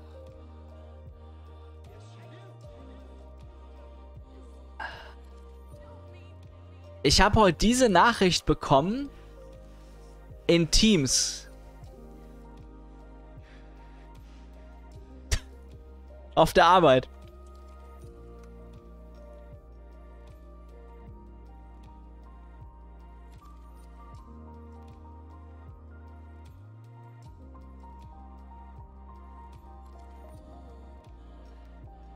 Und das ist unser Net einer unserer Network Engineers der das geschrieben hat. Ist mir nur gerade eingefallen bei dem Thema Network Engineer. Ja. Also ich kann da persönlich wenig zu sagen, habe ich nicht gemacht. So, also weiter, Stellanzeige. Das hat man. Wir zählen auf deine Mitwirkung bei diversen komplexen IT. Du dokumentierst die Systeme unserer Kunden und entwickelst am besten auch neue Lösungen mit. Ja, okay. Wurdest du geleakt? Äh, es gibt ein paar Leute, die wissen das auf der Arbeit. Die kannten mich witzigerweise vorher schon. Sind doch meistens ein bisschen jüngere. Die haben damals mein YouTube-Zeug geguckt, ja. Witzig eigentlich, ne? Dass das so um... Um drei Ecken man die Leute kennt. Sowas träumt man, okay? Deine Qualifikation, du hast eine Ausbildung im im Bereich IT bereits erfolgreich abgeschlossen. IT-Kundenbetreuung ist für dich Daily Business. Administration von PCs, Notebook machst du doch mit Links.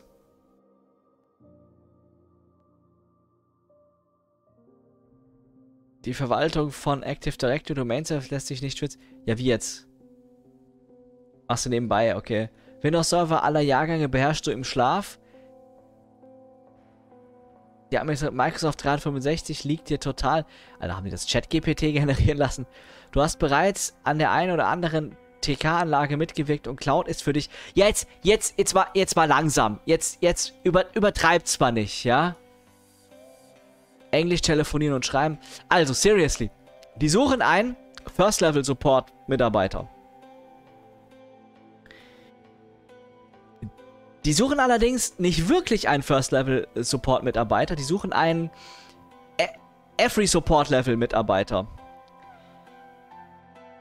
Also du machst im Endeffekt Betreuung von kleinen PCs, Telefonsupport, AD-Verwaltung, Windows-Administration, Azure Microsoft 365 Krempel Telefon, Telefonanlagen, Kram, äh, Cloud-Infrastruktur. Also das ist das einzige von den Dingern, die hier, also das erste und das letzte ist das einzige, was hier steht bei deiner Qualifikation, was ich finde, was rein, was wirklich Sinn macht. Ja, die suchen einen First-Level-Mitarbeiter fürs Telefon.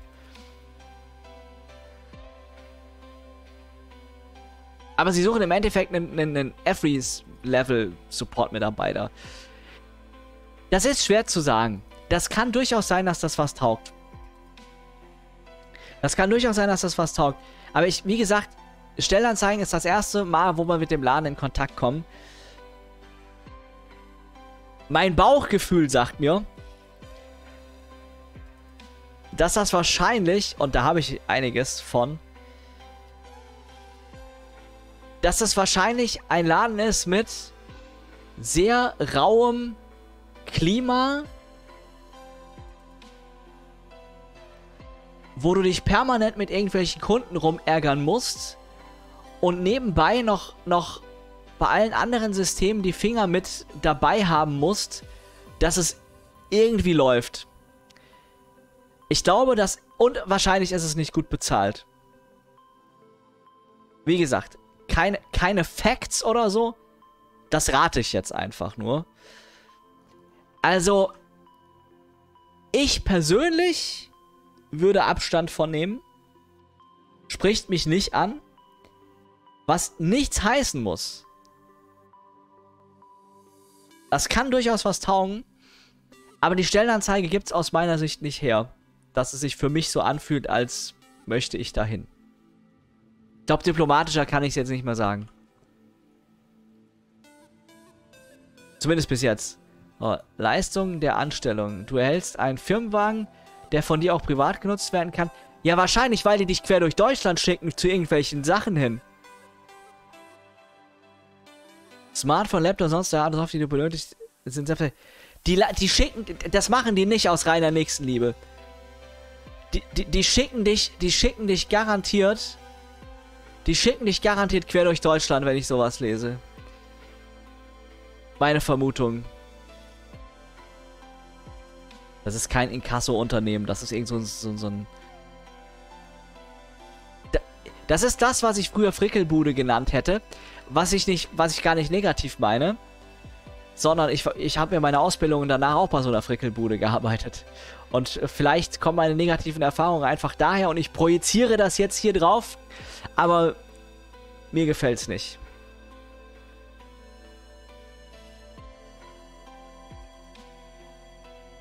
Als Unternehmen wollen wir unseren Erfolg mit allen teilen, so natürlich auch mit, de mit den Mitarbeitenden. Neben regelmäßigen Events über Monka S gibt es weitere Vergünstigungen und Leistungen, die dir zugutekommen. Jobrat ist vielleicht auch ein Thema. Ja, das hat ja mittlerweile jeder.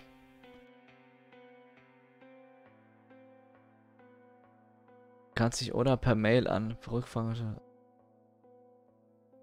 Also mein Fall wäre es nicht.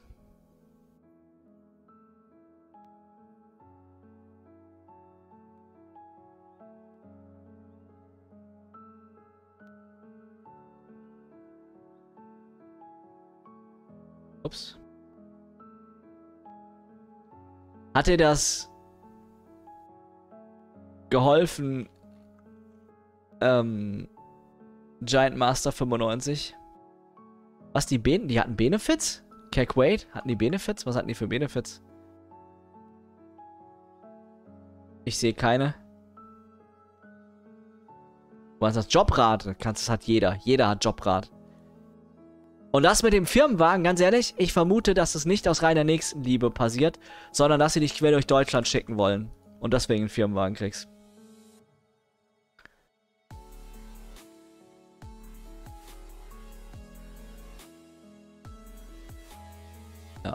Also. Spricht mich gar nicht an. So. Soll ich eigentlich was anderes vorziehen? Also ich denke mal, 1, 2 können wir heute noch machen. Dann machen wir morgen einfach nochmal einen Stream. In der Richtung. Boah, mein Auge, Alter.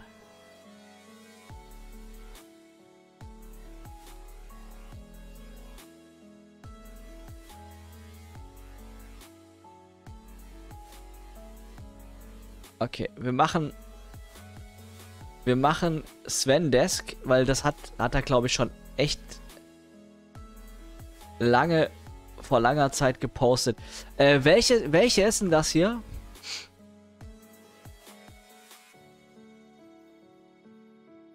Die gucken wir uns, die gucken wir uns zum Schluss an. Die ist bestimmt richtig cringe. Welche hiervon ist das? Ist das Svendesk?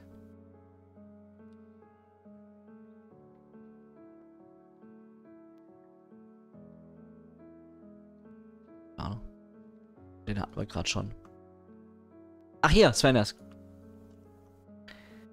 Ah, okay. Also.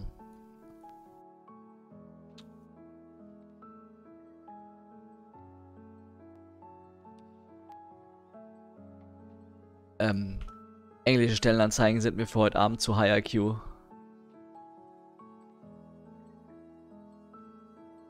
Also, gucken wir uns Svendesk an. Ist auch auf Englisch. Was suchen die denn? Ein Senior Fullstack Developer MFX. Focus Backend Kotlin. Uiuiuiui. Das ist ja mal Bleeding Edge modern hier.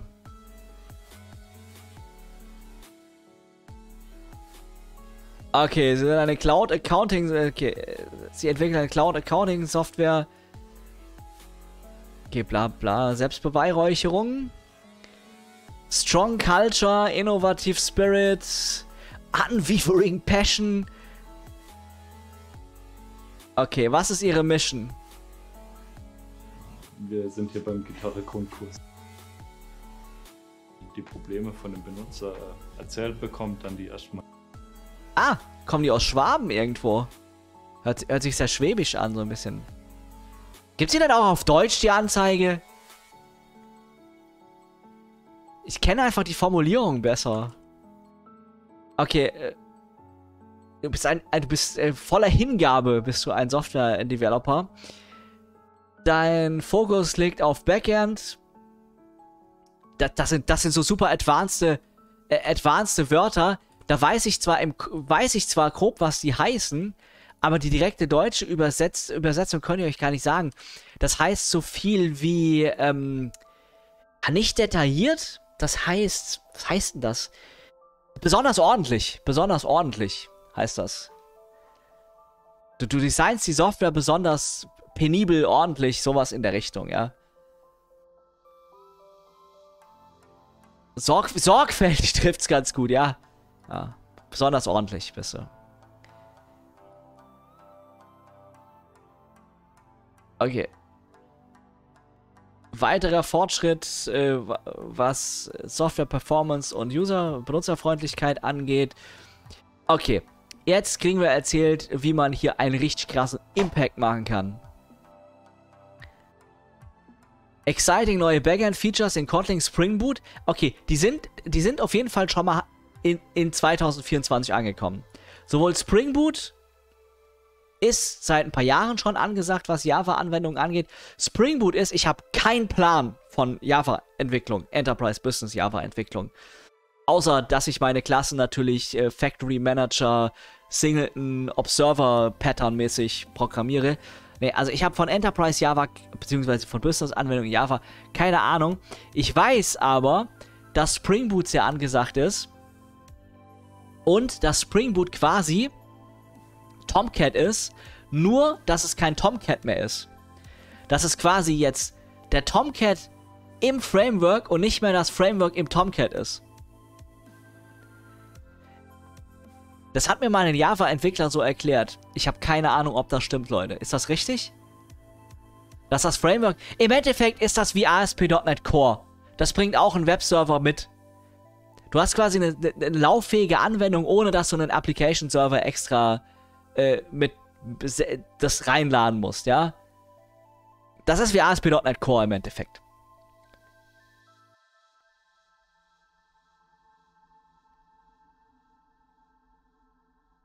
Oh, Agile Scrum Team. Maintaining and develop them. Ja, okay. Äh, du bist hier die Speerspitze der Migration von PHP zu Kotlin. Das finde ich cool. Also das ist auf jeden Fall definitiv kein Job für mich. Ja, fehlt mir jegliche Erfahrung von. Aber das fände ich persönlich ein interessante, ähm, einen interessanten Punkt, der mich als Entwickler interessieren würde. Ja? Umstellung von PHP auf Kotlin und dementsprechend Java. Maximum Performance und äh, dreidimensionales, diagonales Skalieren. APIs, äh, entsprechende Open API Specification, Ownership of your Team Services und Hellshare. and help shape our DevOps culture. You share your knowledge with your team contribute. Okay, ja, das ist ja auch sehr 0815. React TypeScript and follow a holistic approach. Also, holistic ist so ganzheitlich. Ich hätte jetzt ehrlich gesagt vermutet, dass wenn man, jemand was von Holistic Approach schreibt, dass man Node im Backend verwendet. OpenAPI gleich REST? Nee. OpenAPI ist das, was du teilweise bei Swagger immer siehst. Wenn du dir mal so eine API-Doc anguckst. Da gibt es irgendeinen, ich will es nicht Standard nennen, da gibt es irgendwie so ein paar Guidelines. Ich habe mir das nie im Detail durchgelesen, so ein paar Guidelines. Zum Beispiel, dass du ähm, Restendpunkte, die also dass du, dass du deine Restendpunkte zum Listen deiner Entities quasi immer plural nennst und solche Geschichten stehen da drinne.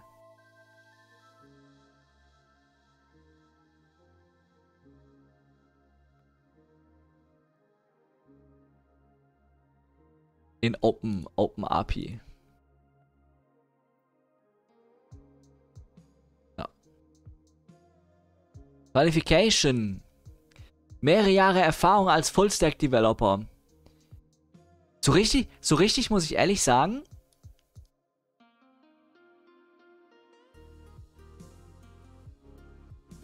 Habe ich da den Full-Stack jetzt noch gar nicht gesehen. Okay, es ist Frontend und Backend, aber das ist jetzt nicht so außergewöhnlich.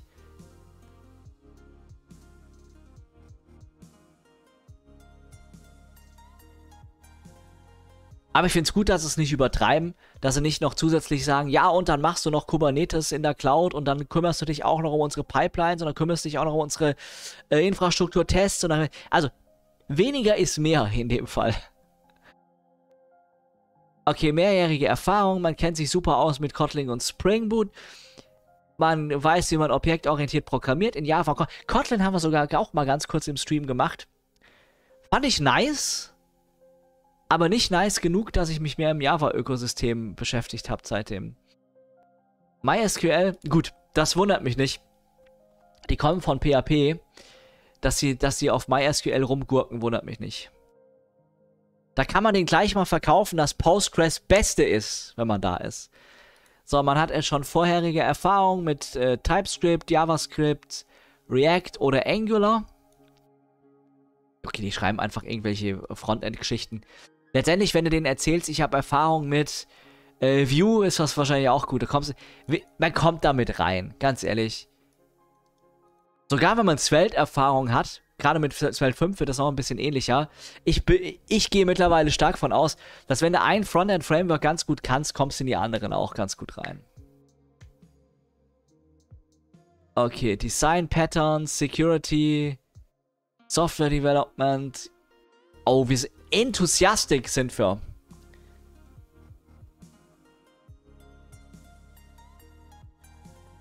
Enthusiastic sind wir über, der, über den DevOps-Approach.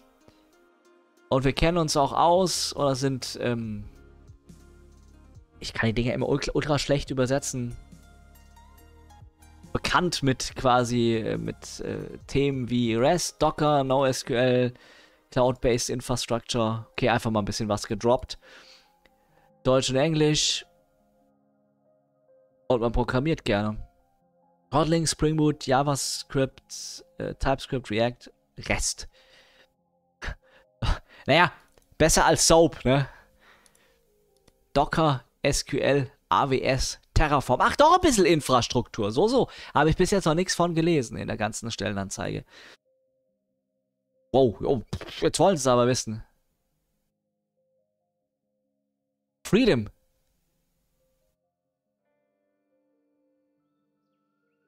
Freedom to work from wherever you choose.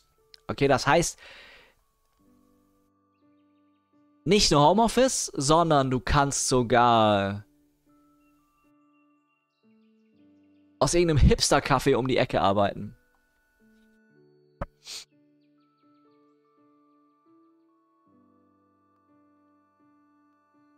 Define, okay, flexible Arbeitszeit im Endeffekt. Open Code Friday, bring your, okay, oh ja. Okay. Da habe ich einmal mitgemacht bei so einem wie, wie haben sie das genannt? Coding Camp oder irgendwie sowas in der Richtung, weiß gar nicht mehr, wie das hieß. Da habe ich einmal mitgemacht und wir waren die einzigen. Wir waren das einzige Team, das einen minimalen Prototyp gebaut hat bei diesem Coding Barcamp. Und wisst ihr, wer gewonnen hat? Und das ist auch der Grund, warum ich da nie wieder mitmache bei sowas. Wisst ihr, wer gewonnen hat? Das andere Team, also wir hatten fünf, fünf sechs Teams oder so, die da was äh, vorgestellt haben. Und am Ende hat das Team gewonnen, die unser Projekt gemacht haben, die quasi exakt die gleiche Idee gerippt haben von uns, aber anstatt ein so könnte es aussehen Prototyp zu bauen, haben die einfach nur eine Präsentation erstellt und die richtig gut geübt.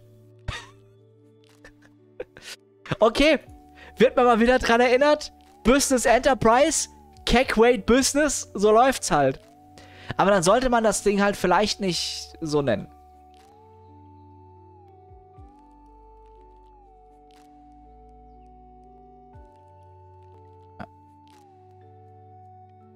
Wir hätten das auch super präsentieren können. Ich habe euch ja schon gesagt, ich mache sowas eigentlich ganz gern. Aber wir haben uns halt gedacht, okay, wenn es da wirklich um Anwendung geht, machen wir mal lieber einen Prototyp so minimal. Aber, nope.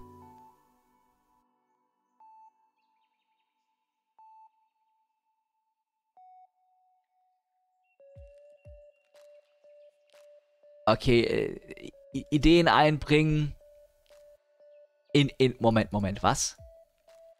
What? Das, das check ich nicht. Engage in flat and brown back sessions. Celebrating no. What? Hat irgendjemand eine Ahnung? Nein, nein, nein, nein, Chat. Damit hat das bestimmt nichts zu tun. Was ist eine Backsession?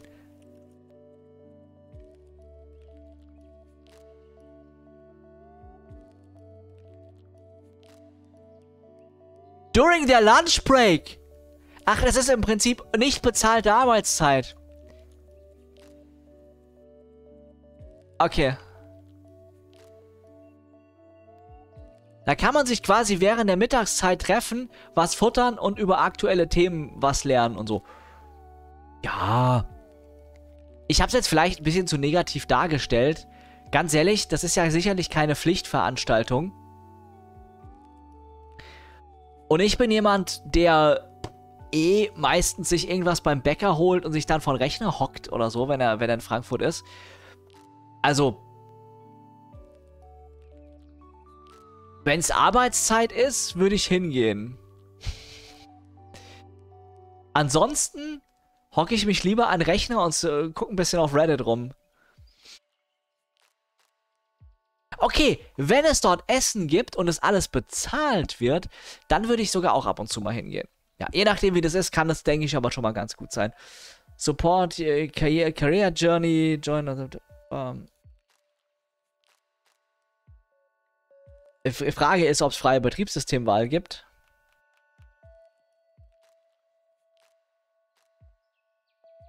Ja, die, die machen ja auch ein bisschen, bisschen viel Tamtam -Tam um eigentlich wenig, oder? Express yourself. In, äh, kannst dich anziehen, wie du willst.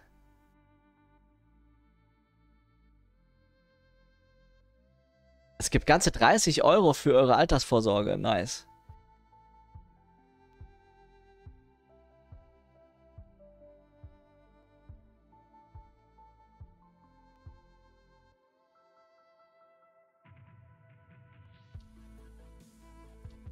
We, co we cover travel costs for your visits to, to our Offenburg office. Das finde ich eine gute Sache, ja. Das ist nice. Wenn du, wenn du beispielsweise normalerweise von woanders arbeitest, aber du musst da mal in die Firma, dann kriegst du die gesamten Reisekosten bezahlt, das finde ich gut. Jährliche drei Arbeitstage, wo man machen kann, was man will, für irgendwelche anderen Projekte. 30 Tage Urlaub gibt es überall. Man kann Englisch lernen. Oh, guck mal. Man kann noch mal extra Tage machen. 30 Tage extra, wo man dann von woanders arbeitet. Ja, finde ich, finde ich nicht verkehrt. Kannst nach Spanien fahren und dort dich für einen Monat irgendeine Hütte mieten und von da arbeiten. Ich meine, kannst ja angeblich eh schon. Weiß nicht, was da der Unterschied ist. Okay. Ich, ich habe mit den ganzen englischen Sprüchen und Formulierungen nicht so viel Erfahrung. Es macht auf mich aber gar keinen schlechten Eindruck. Ist das wirklich extra? Ja. Urlaub ist keine Vacation. Ah ja, das oben gilt nur für Deutschland. Ja, das wird sein, genau. Du kannst von egal wo arbeiten innerhalb von Deutschland und hier kannst du nochmal 30 Tage, also quasi einen Monat im Jahr arbeiten, wo du willst. Theoretisch kannst du, also wenn du es richtig machst, kannst du zwei Monate in Spanien sein. Und, und wenn du es wenn richtig pfeiffertig machst, wechselst du das sogar ab zwischendurch. Dann kannst du dann mal eine Woche weg sein, wenn du irgendwo hinfahren willst. Eigentlich cool, ja. Also, ich habe mit englischen Stellenanzeigen nicht so viel Erfahrung. Ich finde, das macht aber keinen schlechten Eindruck. Also, wenn man Bock hat auf Kotlin Frontend mit äh, React, also Kotlin Backend von und gerade diese Migrationsgeschichte von PHP auf Kotlin, das spricht mich persönlich jetzt an, weil finde ich ein interessantes Thema. Natürlich wäre es für mich nichts. Ich habe da viel zu wenig Erfahrung in Java-Entwicklung und alles. Aber das finde ich schon mal ganz cool. Ich glaube, das ist nicht übel. Wie groß der Laden ist, kann ich schlecht einschätzen. Dementsprechend ist schwer zu sagen, ob das eher Richtung Startup geht. Also im Endeffekt, du verdienst so gut wie nichts. Oder schon ein bisschen was Größeres ist. Keine Ahnung. Aber rein von, äh, von der Technik her und vom Inhalt her macht das auf mich gar keinen so schlechten Eindruck. Hast du schon mal Bildungsurlaub genommen? Nö. Komm, wir gucken uns noch. Komm, wir haben jetzt noch. Wir haben eh nur noch sieben Minuten Zeit. Wir gucken uns noch mal das Video von denen an. Das ist auf Deutsch. Wir sind hier beim Gitarre-Grundkurs. da müsste sofort Lull. raus. Ich bin Alex, ich bin jetzt bei Zefdesk seit anderthalb Du bist ein Jahren. bisschen leise, hä? Bin Wird immer leiser. Im Team Paking. Ich bin der Dario, ich bin. Im, äh, Im Team was? Im Team Paking. Ach, Peking. Ich, habe erst, ich hab, ich hab erst Peking verstanden. Und dann dachte ich mir, warum spricht der Peking so komisch aus? Ich bin der Dario, ich bin 26 Jahre alt, ich bin im Team Meerkat seit ungefähr mehr als einem halben Jahr. Okay, die, die, die nennen ihre Teams einfach besonders stylisch. Also unsere Scrum-Teams haben alle einen PO und einen UI-UXler. Wir haben pro Team circa vier bis fünf Entwickler, also sprich fast so 50 Agile. Entwickler im ganzen Engineering. Also im Backend haben wir äh, PHP noch für unseren äh, alten Teil und den Rewrite, den neueren Teil, den haben wir jetzt in Kotlin. Für unser Frontend haben wir aktuell noch AngularJS im Einsatz, aber neue Komponenten oder wenn Komponenten stark verändert werden, werden dann durch React-Komponenten ähm, ausgesetzt. Was hatten sie noch? Ich hab's jetzt gerade nicht. Verändert werden, werden dann durch React neue Komponenten AngularJS im Ach, Einsatz. AngularJS. Aber Okay. neue Boah, Komponenten das ist ja dann uralt schon. oder wenn Komponenten stark verändert werden, werden dann durch React-Komponenten ähm, ausgesetzt, Ja. ausgetauscht. Das fängt im Prinzip schon ganz am Anfang an, wenn man die Probleme von dem Benutzer äh, erzählt bekommt, dann die erstmal greifen muss, die evaluiert, aufbereitet, in eine Lösungsfindung reingeht, ähm, das am Ende dann auch umsetzt und ja. Ich glaube, dass sie das wirklich sehr cool finden. Aber es hätte nicht geschadet, das etwas enthusiastischer im Video rüberzubringen. beobachten kann, wie das dann beim Benutzer ankommt. Ich finde, wir sind da auch vollständig integriert. Es ist nicht, dass wir einfach nur etwas vorgesetzt bekommen und das umsetzen sollen, sondern wir können unsere eigenen Gedanken halt mit einbringen und das gibt auch mehr so ein Gefühl von Selbstverwirklichung, die damit einhergeht. Das, okay, das ist, das ist doch eher so ein bisschen, bisschen, bisschen äh, äh, Startup mit Vision und, und wir brennen für die Sache und sowas. Ich finde das sehr befriedigend, wenn man spürt, dass man einfach mit seiner Arbeit einen Impact hat und dass es äh, ja, den, unsere Kunden weiterbringt bei ihrem Business. Wenn ein Also Arbeitgeber haben- sowas mit dir macht, will ich sehen, wie begeistert du bist, was, wenn er was macht. Einmal im Monat den Open Code Friday, wo wir uns äh, ja, spannenden Experimenten widmen können. Ähm, da haben wir zum Beispiel letztlich in unserem Team eine Rust-Application entwickelt. Was sonst? Was sonst? Okay, das muss ein Startup sein. Blazingly Fast war die hoffentlich auch. Und wir haben auch so ein Format wie den, äh, die Brown Bag Session am Mittwoch. Die ist dafür da, damit Leute coole Themen, die sie äh, sich angeschaut haben, einfach den anderen Leuten beibringen können und Okay. halt so einen coolen Bei Wissensaustausch. uns nennt sich das. Wie heißt das bei uns noch? Wir haben auch sowas, aber wir haben keine Brown Bag Session. Bei uns ist das ganz normale Arbeitszeit. Ähm, und wird auch nicht gegessen dabei. Das heißt bei uns. Tech Talk heißt das bei uns. gestalten können. Ja, und wir haben klassisch dann auch noch die Bücherflat. Ähm, eigentlich ganz cool, wenn man so altmodisch, sage ich mal, äh, sich noch die Lektüre ins Bett legen möchte. kann sich auch und am Tablet leben. drin schmökern möchte. Am, Ta am Tablet lesen. Grundsätzlich äh, ein, haben wir das so organisiert, dass die Teams sich da einfach individuell organisieren. Das heißt, es muss für das Team passen und äh, ja, alles kann, nichts muss. Ich arbeite selbst primär Lin- remote, können auch Linux-Desktops. Also nicht hier aus Offenburg. Und ich muss sagen, es funktioniert super. Also ich fühle mich auch komplett eingegliedert bei uns im Team. Und man merkt am Ende des Tages fast gar nicht, dass man eigentlich bei sich zu Hause im Büro ist und nicht hier in Offenburg. Ich habe jetzt Ja, äh, frisch Nachwuchs Beste. bekommen und ähm, diese Flexibilität hilft mir natürlich schon Ja. zu Hause, äh, Ja, auch meine Frau zu unterstützen. Und, das äh, ist sehr nice, ja. Homeoffice ist eh das Beste, gerade in solchen Berufen. Da macht es meistens überhaupt keinen Sinn, ob du vor Ort bist oder remote, egal. Ja, mal für manche Sachen lasse ich mir das durchaus gefallen, sehr aber einzigartig. das meiste ist egal. Schon wieder durch. GG. Ja. Hey. Ja, ja, ja, halt so Krach, Mann. Ja, ja, yes. Ja, ich glaube, das ist gar nicht übel. Also, wenn, wenn, da, wenn man hier so, ne, Bock da drauf hat. Haben wir noch was anderes? Data Development Marketing. Wer macht eigentlich bei denen die äh, Infrastruktur? Äh, Ich, ich sehe Development. Wer, wer, wer macht denn jetzt eigentlich? Ich meine, und selbst wenn die keine eigene haben, wovon ich ausgehe, dass die kein eigenes Rechenzentrum haben in dem Sinn, im klassischen Sinn, irgendeiner muss sich ja schon um die Sache kümmern. Die haben sicherlich die ein oder anderen Linux-VMs. Ihre Anwendung muss irgendwo drauf laufen. Weil, ah, da gibt es auch Cloud. Äh, da, dann ergibt das, ergibt das sicherlich Sinn. Senior Cloud Engineer. Ach, gucke mal. Das, das wäre was für mich. Ich bin mit mit fast 40.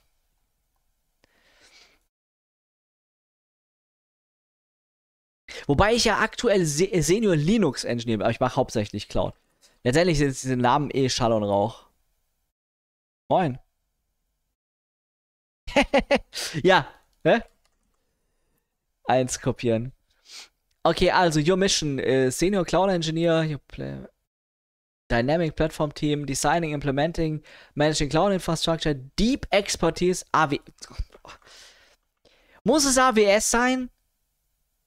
Die einzige Cloud-Plattform, von der ich keine, also ich, ich will mich eh nicht bewerben, ja, ich sag so, die einzige Cloud-Plattform, von der ich nicht großartig Ahnung habe, von den großen.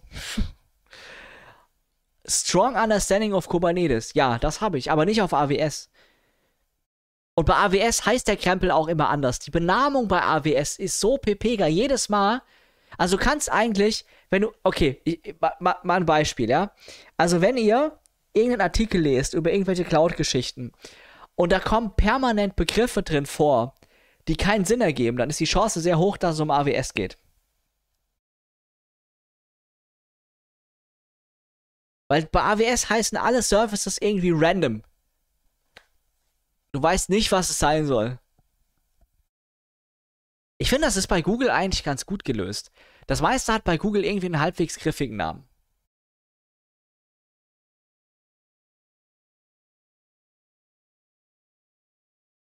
Welche Cloud-Anbieter bevorzugst du? Azure, Google oder äh, Google oder ähm, Amazon? Äh, nee, IBM Cloud, äh, IBM Cloud. Äh, nein, Leute, ich bevorzuge natürlich SAP Cloud, logischerweise. Was sonst? Pepo Burn Money. Wobei SAP Cloud auch nur aufsetzt auf. Hab's schon wieder vergessen. Ich hab's euch letztens erzählt im Stream. Die haben gar keine eigene Cloud. Magenta Cloud, ja, vor allem. Also, ich muss mittlerweile sagen, früher hätte ich gesagt Azure. Mittlerweile muss ich sagen, Google hat schon ein paar ganz coole Sachen. Und ich habe den Eindruck,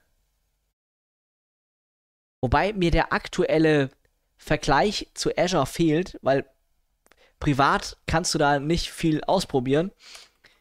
Mir, mir, mir fehlt der, der Up-to-Date-Vergleich zu Azure. Aber ich habe den Eindruck, bei Google bewegen sich die Sachen ein bisschen schneller als in Azure. Also, ne, nicht insgesamt schneller. Microsoft frickelt auch den ganzen Tag drin rum. Aber bei Google entwickeln sich die sinnvollen Sachen schneller in sinnvolle Richtungen wie bei Microsoft. Zum Beispiel hat Google jetzt relativ schnell geschafft, wo eventuell sogar ich mit dran beteiligt war, dass das äh, schneller, schneller geht, weil wir genug gemeckert haben. Sie haben es endlich geschafft, jetzt das einfacher und äh, zu verbessern, dass du sch schnelleren und vor allem mehr lokalen Storage bekommst an deine Cloud VMs. Oder an, nicht, müssen nicht unbedingt VMs sein, ja. Aber unter der Haube sind es eh VMs. Auch deine Kubernetes-Cluster sind unter der Haube ganz normale VMs bei Google dass du lokal attached SSDs dran bekommst. Das geht schon lange. Das ging schon immer meiner Meinung nach bei Google besser als bei Azure. Zumindest meine bisschen outdated Azure-Erfahrung nach. Aber mittlerweile kannst du sogar noch mehr als 12 Terabyte dranhängen und das auch besser handeln. Und eventuell habe ich sogar mitgeholfen. Indirekt, dass das so ist.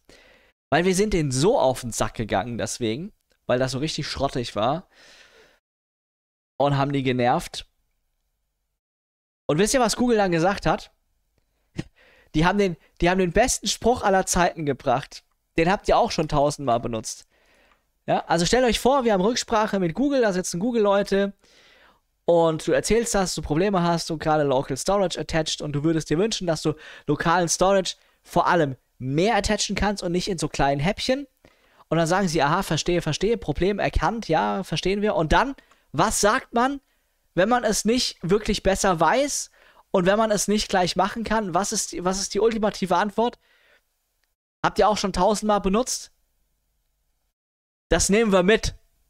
Richtig. Wir nehmen es mit. Und in dem Fall muss man sagen, Google hat es nicht nur mitgenommen, Google hat auch was dran gemacht. Natürlich kann ich jetzt nicht sagen, ob das jetzt Google nur gemacht hat, weil wir öfters genug gemeckert haben oder weil wir plus sehr viele andere darüber gemeckert haben, wie schlecht das gewesen ist. Also, wahrscheinlich waren wir nicht die Einzigen, die das gerne hätten. Ja.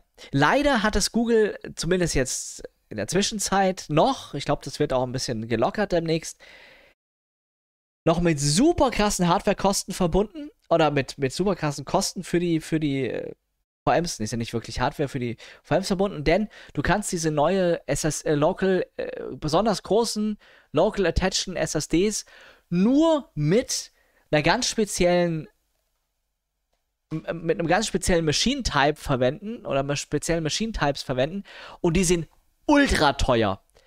Da bezahlst du, also unter vierstellig im Monat geht schon mal gar nichts. Wenn du da eine richtig fette Kiste brauchst, mit allem drum dran, ist, kostet die einzelne VM ist eher fünfstellig aktuell. Die einzelne, ich betone das nochmal, die einzelne VM plus, inklu also inklusive VM, inklusive Storage, fünfstellig im Monat. Eine VM, eine. fünfstellig. Also das ist noch nicht so wirklich praktikabel, was sie da gebaut haben, aber ich bin froh, dass sie das Problem erkannt haben und was dran machen.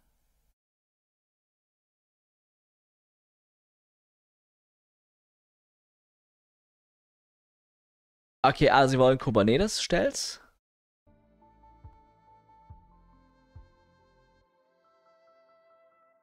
Cloud Architecture, Design, Deployer. Kubernetes Orchestration, Terraform. Ja. Ja, das ist im Prinzip genau das, was ich mir vorstelle, so unter dem Cloud Engineer, was die haben wollen. Monitoring, Logging, ja. Prometheus, Grafana, CloudWatch, New Relic. Gut, Metrik, Metrik stellst. Ähm, wobei, nee, New Relic ist nicht für Metrik, New Relic ist für Traces und sowas. Ja, im Prinzip genau das, was ich mir darunter vorstellen würde.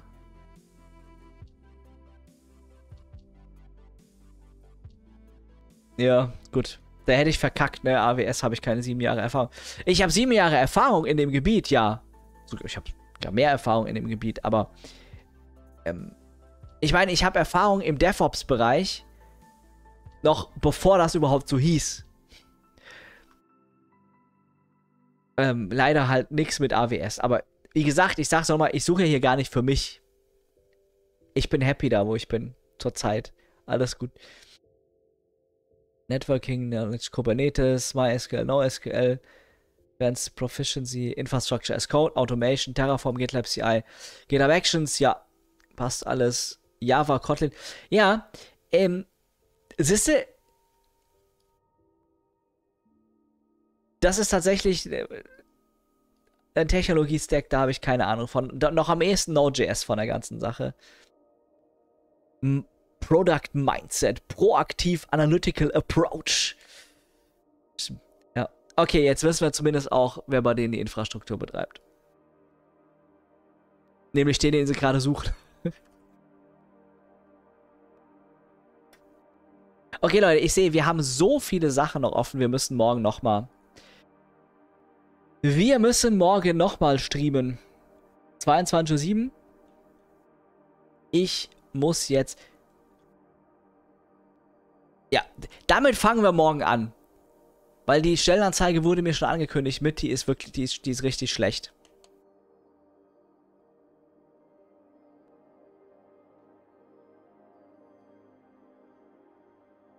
Konnte man nicht irgendwie alle Bookmarks speichern? Nur für den Fall der Fälle, dass ich das irgendwie äh, zumache und morgen nicht mehr aufkriege. Du musst Windows-Updates machen, ne? Dann bist du morgen circa on? Weiß ich noch nicht. Nach der Arbeit irgendwann. Also wieder, wieder wahrscheinlich 19 Uhr oder so, oder? Mal gucken. Betke Time, Leute. Schön, dass ihr dabei wart. Wenn es euch gefallen hat, lasst ein Follow da. Muss ja nicht gleich ein Sub sein. Freue ich mich. Grüne Pfeile nach oben zeigen Big Stonks.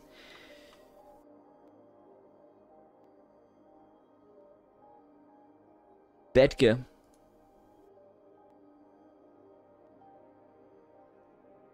Sag mal, kann das sein? Wir hatten doch mal so ein unanständiges Bettge-Emote. Das gibt's nicht mehr, oder? Ich glaube, das wurde gelöscht. Ach doch, haben wir noch. haben wir noch, ja.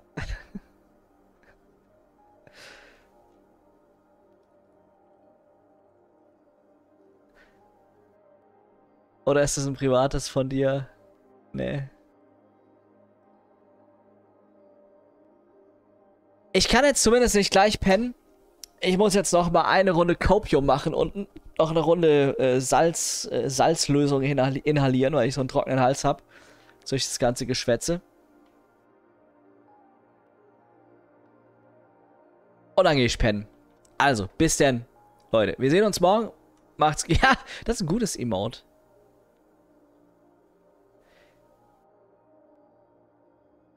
Wer hat denn das Emote gemacht? Das finde ich richtig cool.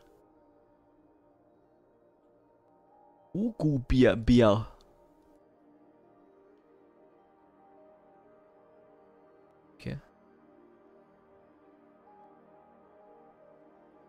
Stirbst du wieder? Ja.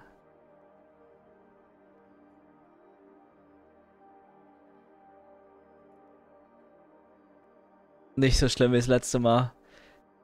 Es war ja massive Husk Hustge angesagt. So, ich habe den Vorschau-Rechner schon aus, Leute. Bis morgen, macht's gut. See you.